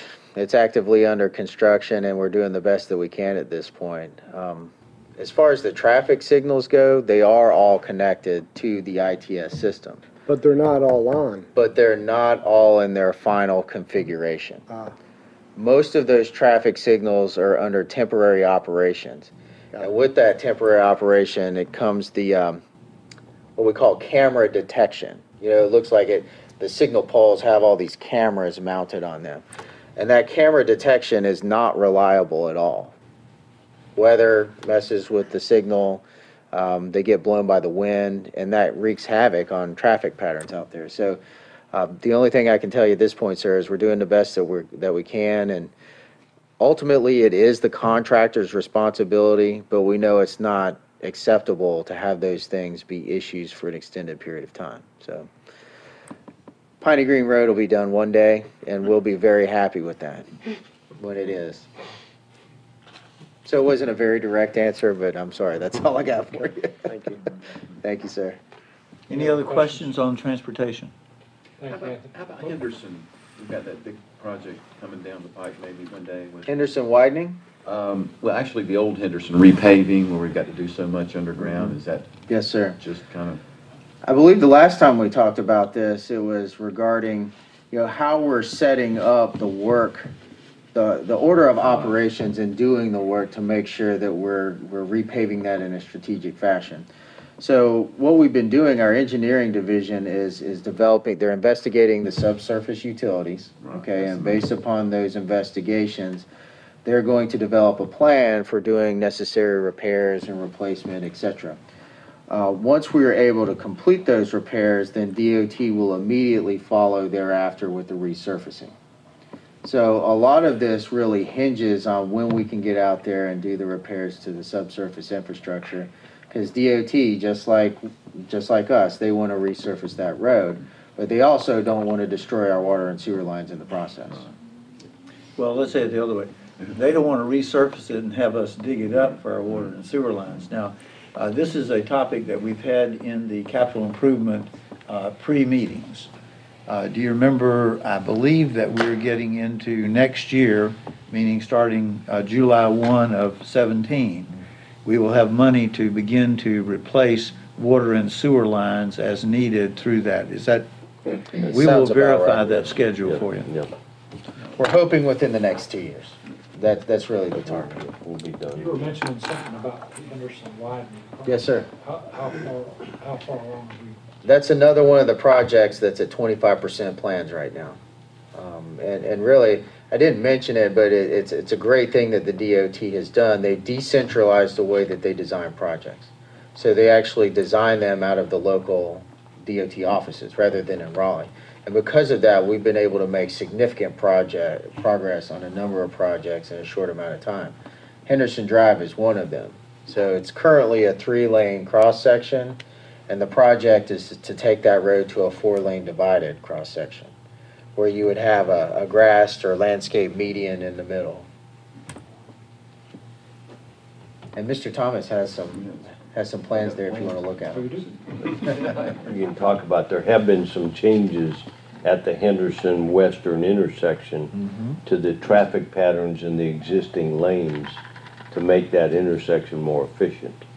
In other words, they've added some throughs that weren't through, they were, you know, one of them was left only, so now you have the ability to go left or through. Changing. Mm, They've changed the uh, timing, uh, if you're making a left off of Western onto Henderson, coming from, from seventeen, if you're trying to make that left, you know, you get two, two, two shots at it. instead- That's right. Because That's it exactly- stacks so daggone, it's a, it's a long stacking area, but it's still, they im- sometimes will That's impede into correct. the active, active flow, And we're also pursuing that at Gateway North as well, because the traffic going into the Commons is immense, especially last night. I, I didn't realize there was gonna be so much traffic for last minute voting, but watching the monitors, that's another area we're gonna do And that. I've had, I've had a couple calls, people want to know, what were we thinking of when we had the three uh, entrances into the Academy Sports popping onto Henderson, we're at the problem now, you know, you, everybody knows that's a, a problem intersection, and yet we've got three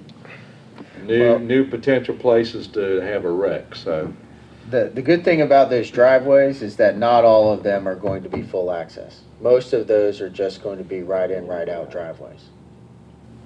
And of course, when the median comes in, it's gonna fix a lot of those problems. And on the other hand, They're not too, now, though, right? Are they all gonna be, all gonna be right now, right in, right outs? The two closest to the intersection of, of Western Boulevard are going to be right in, right out only. And then the one furthest away is gonna be a full movement driver. but see, it also avoids, then pe- people can then leave that center that normally would go on to Western and then turn down Henderson. They'll be able to get directly out on the Henderson, so it takes some traffic off of Western, so it, it just rearranges the traffic. And the intersection project will actually put a median there That's to make correct. sure that those two entrances are right in, right out only. You won't be able to cross over in that. Any other questions on transportation? I have a question. Yes, sir.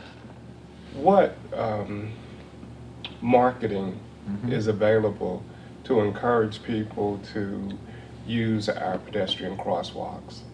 Because you can see people within um, 20 feet of the pedestrian crosswalk running across Western Boulevard or um, Yes, sir. 17.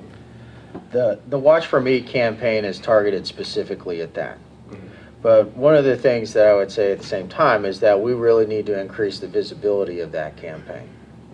Uh, it provides outreach to a variety of different audiences, schools, church groups, you know, anybody who we can go and talk to about pedestrian safety issues.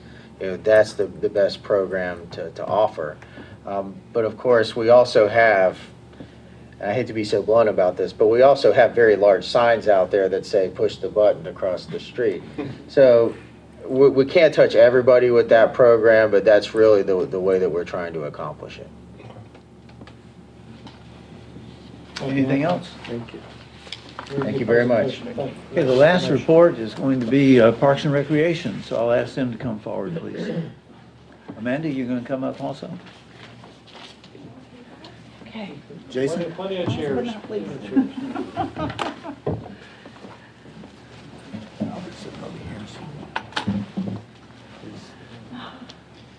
Susan Gill. Candy, anybody need some cookies? I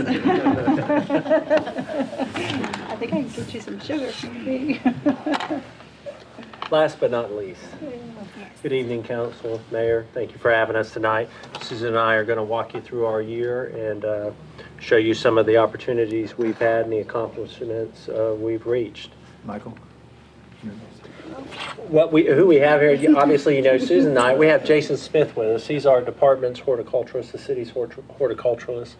And he does uh, the landscaping work you see around the city. A lot of that is done through Jason, through not just the plantings, but the design work.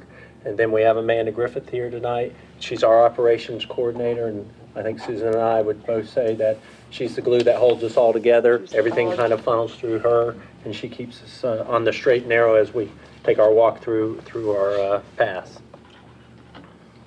So, uh, what you see here is our mission statement. I'm not going to read it to you, but what I will tell you about about it is this it basically focuses on customer service and finding ways to say yes to people to all of our customers that's very important to both susan and i and our staffs try and uh, implement that each day through their jobs. Uh, in the recreation and parks department we have 43 budgeted positions. Uh, with, within those positions are three divisions our, adminis- our administrative uh, division our recreation division and our parks division. And you're, uh, hopefully you're aware, we have a Recreation and Parks Advisory Committee.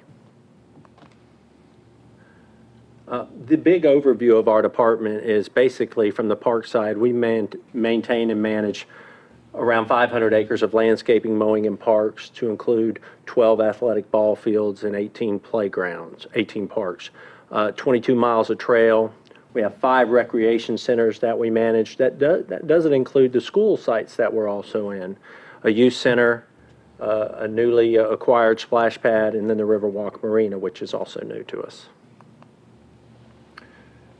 Our accomplishments in FY16, some of them in the administrative division was uh, we were able to complete almost 11,500 enrollments in our programs, all the programs, the youth baseball, the youth basketball, the adult, the senior activities, all the things that you see us do almost uh, 11,500 people participated in those uh, programs. Uh, We completed almost, uh, or just over 1,400 facility reservations. Those include park shelters, building rentals, things such as that.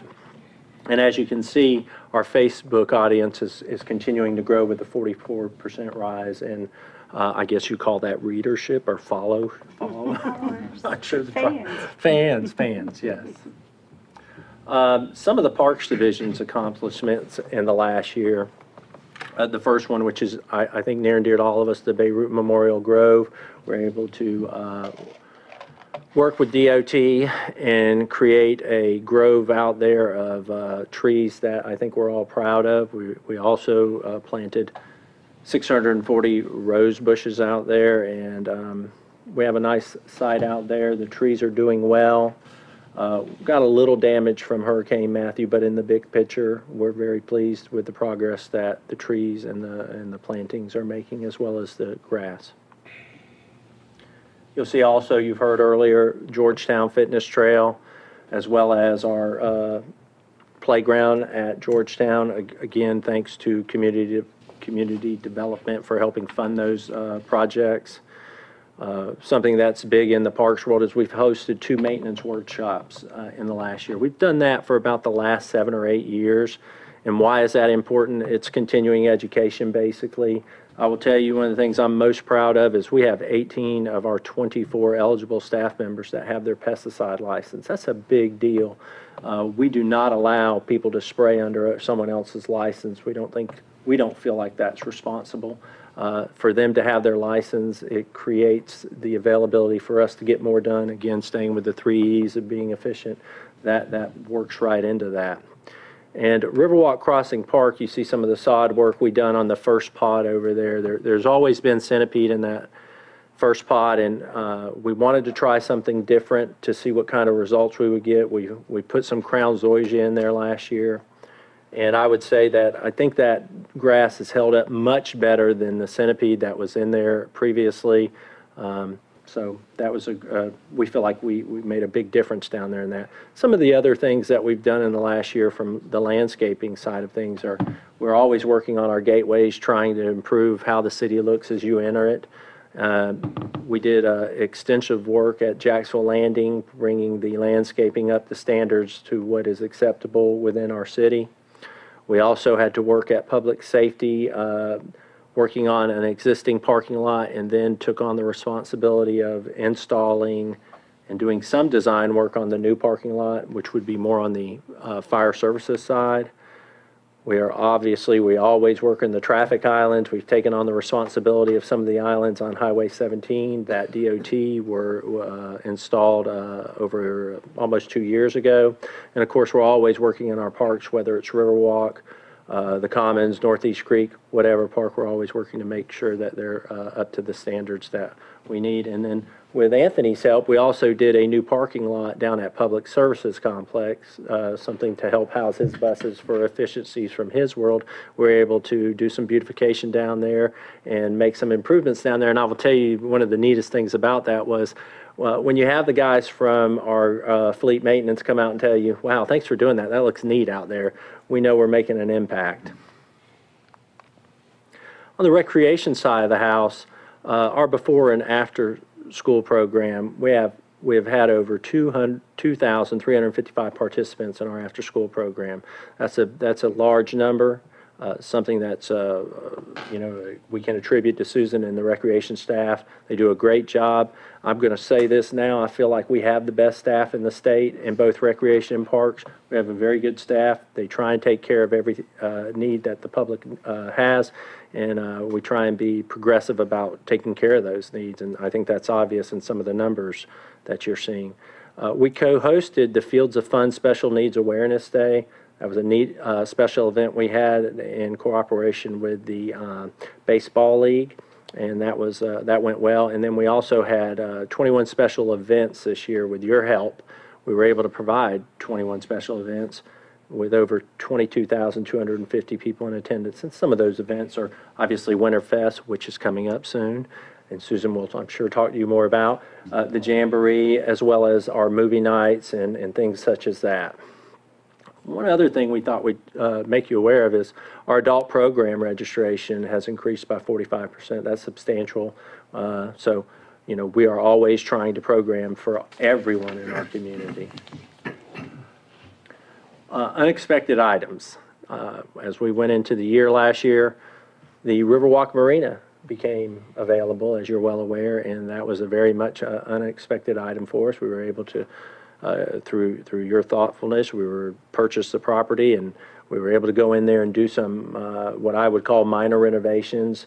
And as Danny uh, mentioned earlier, he went in there and really got the bathrooms handicap uh, uh, accessible or usable for us.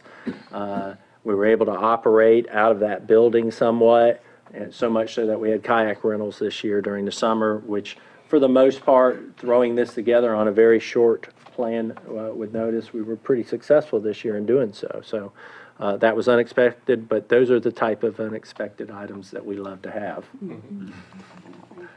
Um, So what are our goals moving forward for next year? Uh, The design and implementation of Riverwalk Marina with the PARTF grant. Um, That's a, a process we're looking to get started uh, as we move forward through the year. We want to get the bids out and hopefully see this come to fruition in the next two to three years. We also are implementing a pass system for our participants. Now, what is a pass system? It's kind of similar to uh, a card system. It helps us, one, track our participants as they come in the building. They can uh, swipe their card. It lets us know who's in our building, and it also keeps track of the numbers of the participants that we have in our building. Again, trying to stay with the three E's. Uh, They don't have to walk in, sign something, da-da-da. They'll just be able to swipe a card. And then uh, Northeast Creek Park, which I'm going to take a moment and, and let you know, uh, we're going to speak with you later on in our presentation or after our annual report about Northeast Creek Park. We're working kind of in the same manner we did with Jack Amyette, that that, you know, needs to be somewhat our focus over the next two, three, four, five years. We did a wonderful job uh, getting Jack Amyette up to, to, to par. Northeast Creek, for, if you're not aware, is 30 years old. It's, it's an older park. It's got older amenities in the park, and from our seat, we'd like that to be the focus moving forward over the next couple years and slowly bringing that park back to life. Uh, On the recreation side, obviously, uh, the opening of our amphitheater at the Commons, which is, which the, uh, the project is going extremely well. We look forward to hopefully having ourselves uh, activities out here, out there in the spring uh, with some concerts. And then also, uh, as we talked about, phase, uh, phase one of the Riverwalk Crossing Park sod project, we, we want to continue that down the park because it is a high-use park. We want to take the next step and do the next pod, and then slowly each year work our way through the park. And then, uh, as you've heard earlier tonight, the completion of Huff Drive and the Parkway Islands uh, landscaping project with NCDOT. Uh, As uh, Anthony has mentioned, the, the Huff Drive is done, it looks wonderful. The Parkway is being worked on, and then uh, there's a small section on Highway 17 at the interchange area that'll also be added to that. So we're looking forward to that.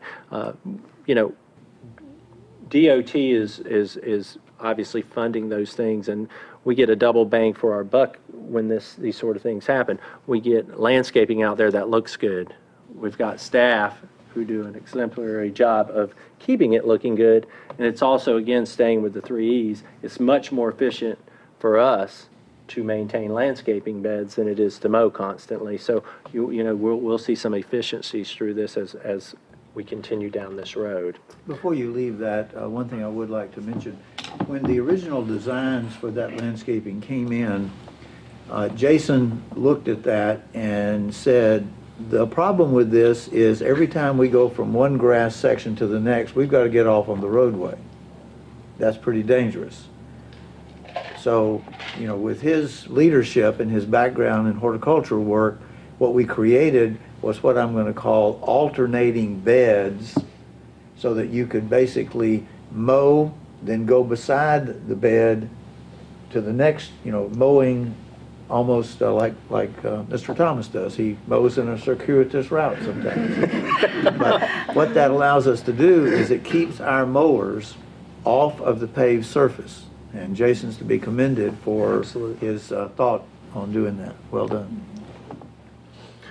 So at this point, I'm going to hand it over to Susan. There's one small thing we haven't talked about yet tonight. You've heard it mentioned a little bit, but obviously Susan's going, Susan's going to talk to you about this right here. We felt it was important to give you a little bit of a recap. It's been a very successful summer. Thank you to, um, obviously, all of your support, and then, you know, with the funding from, from community development. So we just wanted to give you a little bit of a refresher memory. We started at the beginning of summer. It was a great opening on May 28th. We uh, hit the ground running right before Memorial Day weekend. We operated seven days out of the week, alternating a little bit fewer hours on Sundays, but um, if anybody had been out there to see it, nine, at nine, 9:30, definitely at 10 o'clock, there were people ready to go when those, when those activated button- buttons started. So it was busy pretty much all day, every day, so we were very happy with that. We did close Labor Day weekend, that is the, um, that is traditional for a lot of the water features to keep in tune with school systems, summer schedule, so Memorial Day weekend to Labor Day weekend, so that's what we did. 101 days we operated the, uh, the splash pad. Some of the new challenges we occurred, obviously, it was a new system for us, so we did do some training. I was able to get three staff members certified as uh, CPOs, certified pool operators, that is uh, standardized by the state. So we learned a lot. We worked and overcome several of the challenges, which was really getting a sense of chemicals, how to manage them, how to feed them, how to really track them. We never had any issues, but it was certainly one of those things where we wanted to stay on top of it to prevent any, um, you know, any other issues. Some of the drainage was a challenge around the outskirts. I'm happy to say that with the follow-up from Deanna and engineering and their contractor, we've just uh, finalized a, a, a, a fix, or what we hope to be a fix around the perimeter. The drainage wasn't what we had expected, so they did come back actually this past weekend. They installed more drainage and extended the perimeter. So hopefully come um, next summer, we won't have any issues nearly as to what we had. Uh, We realized that grass and all of those sort of things surrounding with it being new sod was a challenge for us through the summer. Uh, We feel confident that as everything is stabilized, we won't have as much to clean up. And we did have to replace the activation button um, in the middle of the summer. It just, for whatever reason, wore out. We were able to replace that, so, um, yeah.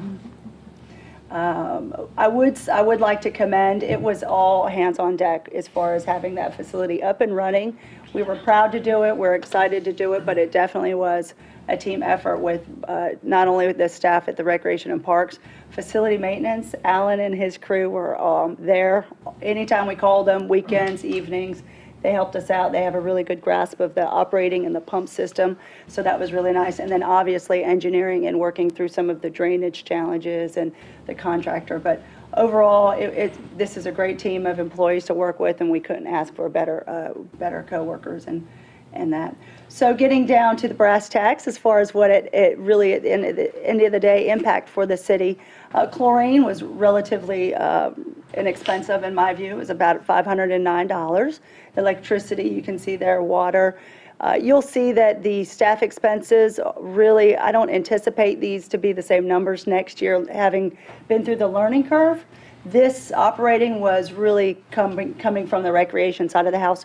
We check that um, system three times a day. So first thing in the morning, halfway through the day, when we realize that the sun and evaporation on the chlorine is when you really have to adjust it. You have to clean all the filters, you have to test all the water. So there was quite a bit of work that needed to be done. And then in, again, in the evening hours, we went right back and did the same thing. Uh, Also, we realized that the amount of people that were there on the weekends, we did staff it. We had people that were there at Jack Amyette that would stay on site and monitor and direct kids to the restrooms, uh, help parents, you know, do those sort of things. We provided more uh, benches and umbrellas that we had to set out. So we worked through some of the requests and some of the feedback that we got, but we were very happy to do it. And then obviously FMS, this is really their additional time, just trying to make sure that if there are issues with the pumps, issues with cleaning, this was their time that they gave us. But overall, this is what it cost us to run 101 days. Uh, We got feedback short, quickly into the summer that the patrons would love some cool refreshments, so we were able to quickly put something together with Amanda's help, and we were able to- to procure, procure a Rita's Ice, uh, Italian ice, and they had a little cart out there, and already we've recovered the cost of our chlorine. So it was, uh, this was only probably about a month of operating out there, so this is a very short period of time. By the time we got this from May, well, we really didn't put it out there. He operated maybe a month. So we'll, we'll do the same thing next year for at least just some refreshment, something cold, um, an opportunity for that. It was well received from the patrons. This year Italian ice, next year pizza. Could be, could be. We're, uh, we're open to any and all. Um, You'll get more bathroom requests that way. That was a challenge. yeah.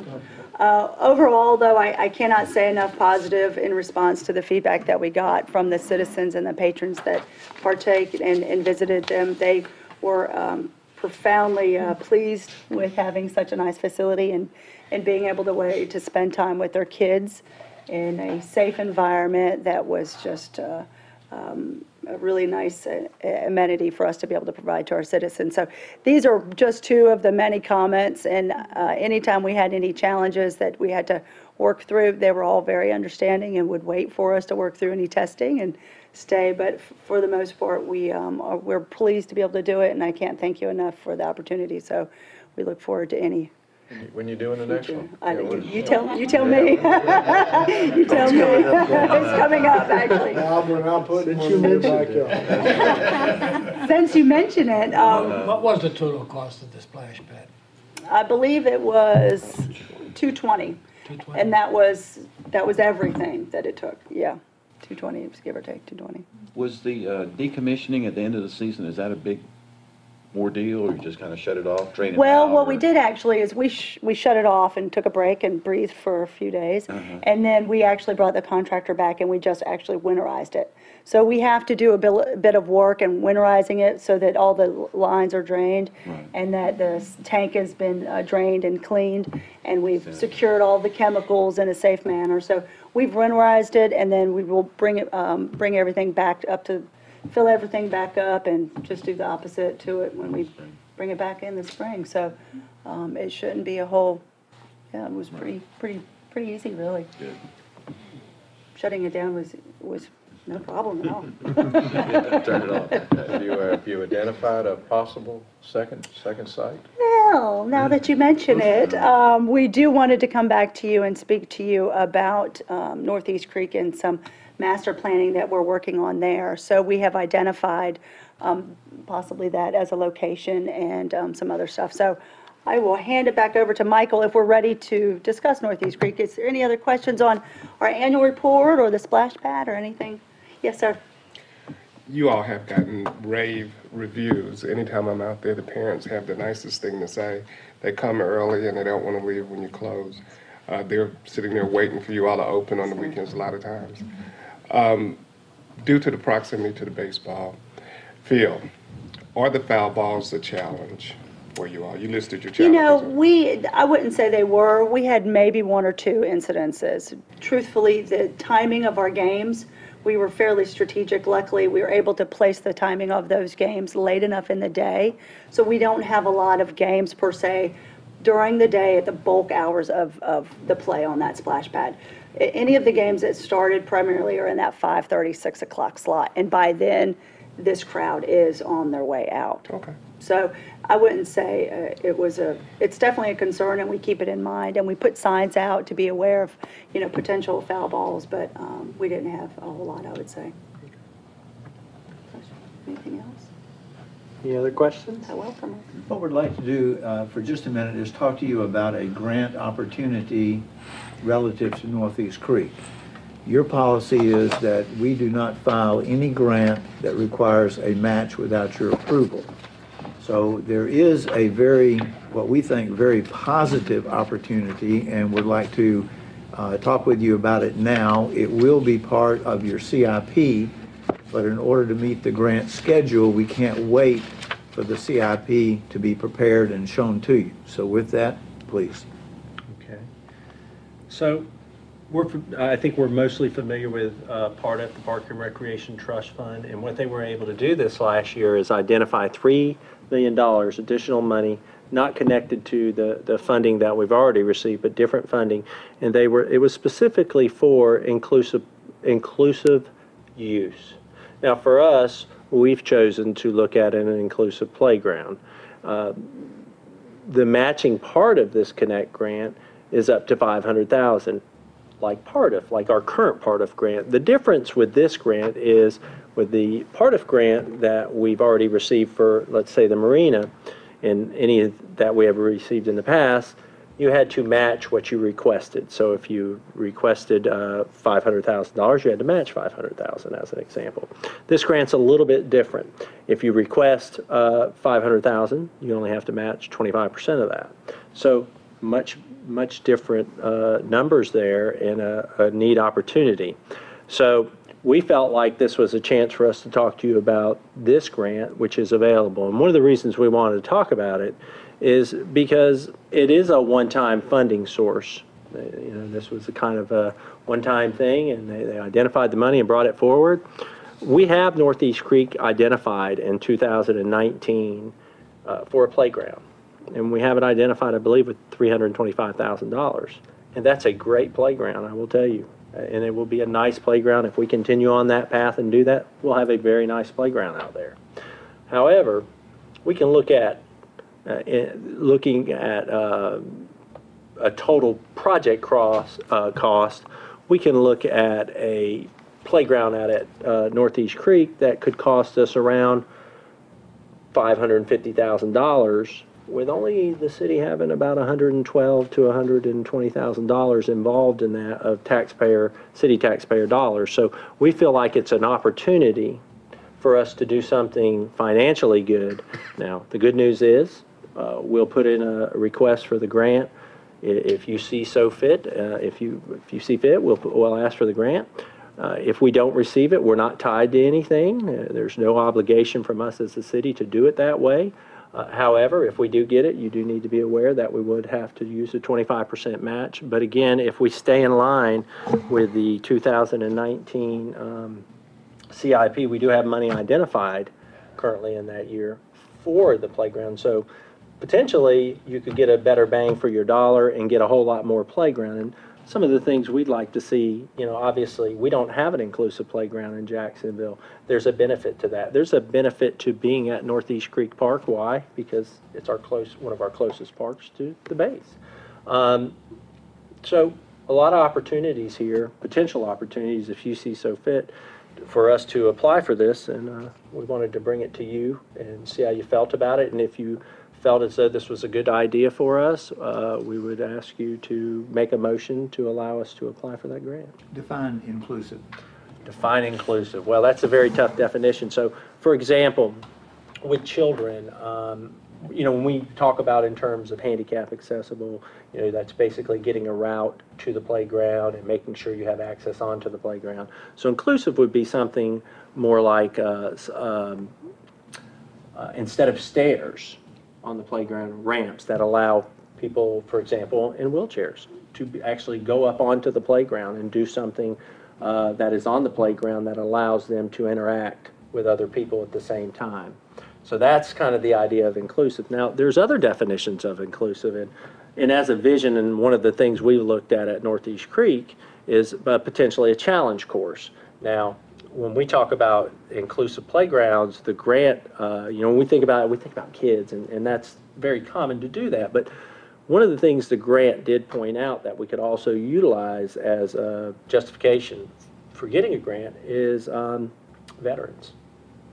So, you know, we have a large demographic of wounded warriors in our community. So we looked at potentially a challenge course that will allow uh, even adults to, to be able to do these sort of events uh, or, or go through a challenge course. And, and for me, I call, I still call it a little bit of an obstacle course, but it's, it's actually termed a challenge course. So, uh, now, what does that mean? That means maybe that their, their mental uh, wellness is going to be much better because they're able to do these things on this sort of uh, course that maybe they wouldn't be able to do in another setting. So I hope that defines, that's a long definition of inclu- inclusive. But the intent is, this is not a children's playground. This is a playground for a broad spectrum, from young to, to elderly. I mean, people who, uh, not only military personnel, but uh, others who have had a stroke or something like that, they would be included.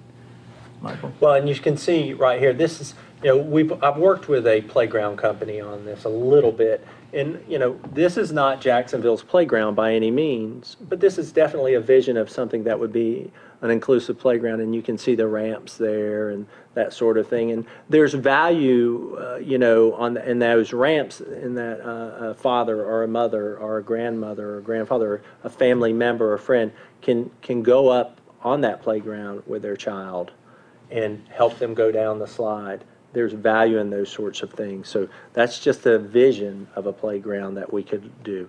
And then you'll see, uh, uh, you'll see something, this is like the challenge course. And you can see the AstroTurf under it. So these, these playgrounds are still playgrounds that we would build up to our standards that we've been building for the last couple of years with the rubberized surface. But because this is more of an athletic event, we thought getting the grass color would make it look better, kind of like they were on a grass field. And you can see that you can have races, you can go through some obstacles there. So again, bearing that in mind, kids can do this, uh, but adults can do it also. So it's, it's a win-win as far as the age group that we'd be looking at catering to. The grant has to be filed by when? The grant needs to be filed 1st. by December 1st with the awarding coming out in March. And if awarded, what's your time period for constructing? We have three years. So it- we would find out in the spring, and then we have three years from, similar to PARTF, from the time of execution. And um, if, if, if able, we preliminary, um, we'd like to speak to some user groups, potential um, advocacy groups, Wounded Warriors, Angels Angels, and special needs groups that we've already uh, worked with on previous projects, so that we can get their feedback on what it is we're trying to do and and garner their support. So we have that lined up. Anyone have any objection to us moving forward with this? No objection. Do we have, a- did you need a motion? You would ask for a motion. Well, technically, the grant does require an official motion in the minutes so that we can file that with the grant. So moved. Second. Uh, Motion second, any discussion? No discussion, all those in favor? Aye. All opposed? I think one last thing we wanted to talk to you about, about Northeast Creek. Go back. Yeah. There we go. One more. There you go. is master planning, some of the master plan for Northeast Creek. And what you're looking at here is, as we talked earlier, uh, m- hopefully making Northeast Creek our next focus in our park system about uh, bringing it back to life. And what you see here is, um, and I'm hoping this works. Oh, Corbin Road, right here, and the entrance to the park on the playground side. So potentially, as Susan and myself and Amanda have sat down with engineering and Dr. Woodruff and Mr. Massey at times, we've talked about what will we do with this side of the park? And you can see potentially where the playground could be, and you can see over here the legend of the things, of the uh, items that we, elements that we have, and we have shelters here and here and here, and um, restroom facilities moving from the current side of the restrooms and moving more centralized to the park, so that people with the, uh, people utilizing the playground would have access to it. But more importantly, to Councilman Warden's question, people utilizing the potential new splash pad, we would have bathrooms at the facility, we have a splash pad here. So these are, these are sort of, uh, in a big picture, as we continue to move forward as a Recreation and Parks Department, one, what we do know is if we build a splash pad, we have to have restrooms accessible. Two, Northeast Creek is a focus of ours moving forward. We'd love uh, to potentially put a splash pad out there. And uh, so hopefully, uh, you'll look at this, give us some feedback of what you see in the big picture, and uh, we'll take that feedback and continue moving forward, hopefully with Northeast Creek and, and how we're going to redevelop the park as time goes by over the next couple of years. did Matthew impact our already problematic uh, walkway out on the creek? Well, unfortunately, it didn't blow it away. So we're gonna have to, uh, You know, I, we were, ro- we were, we were hoping, but we really didn't get much damage out there. We were kind of rooting for it to, to get damaged. But let's talk about that in the bigger picture. As we've moved away from the need for buildings such as the Center for Public Safety, Fire Station Two, and the rehab of this building, we are entering, uh, within the next year, a time period when a lot of our debt is going to be paid. And the four cent fund is going to start to be able to generate a half a million dollars of uncommitted money, up to a million dollars of uncommitted money over the next four or five years. From the management side, when we present the, the CIP for you, uh, when, when that comes up in January, February, you're going to see that our focus is going to be moving towards the Parks and Recreation area, bringing all of those parks up to standard. Same thing that you did at, at Jack Amyette. What we hope is over the next three, four years, that you will concur that the boardwalk needs to be taken out and replaced, that the big lagoon areas need to finally be determined what the ultimate uh, use there is, that new restaurants, not restaurants, restrooms, I guess restrooms and restaurants have some connection. Anyway, that everything in that park will be retrofitted. the reason why we're bringing this up tonight is not to ask you to endorse what we're doing on the playground side, but to let you know that the staff is going to begin to have dialogue with the Recreation Advisory Committee, with citizen groups. We wanted you to know of the concept, not approve it, but the concept, so that when we do start reaching out to these groups over the next several weeks, that you're not caught off guard and wonder what's going on. Our goal again is five years from now, that everything at Northeast Creek on both sides, other than the boat ramp, which all have already improved. Correct. Every other function will be completely rebuilt so that that regional park is to your standards. So if you, we're not asking you to endorse this tonight, we're just saying we're working on some concept plans and we're gonna be taking them to the public. Is that acceptable to you? Now, that's not a, that's not a commitment on your capital improvement program.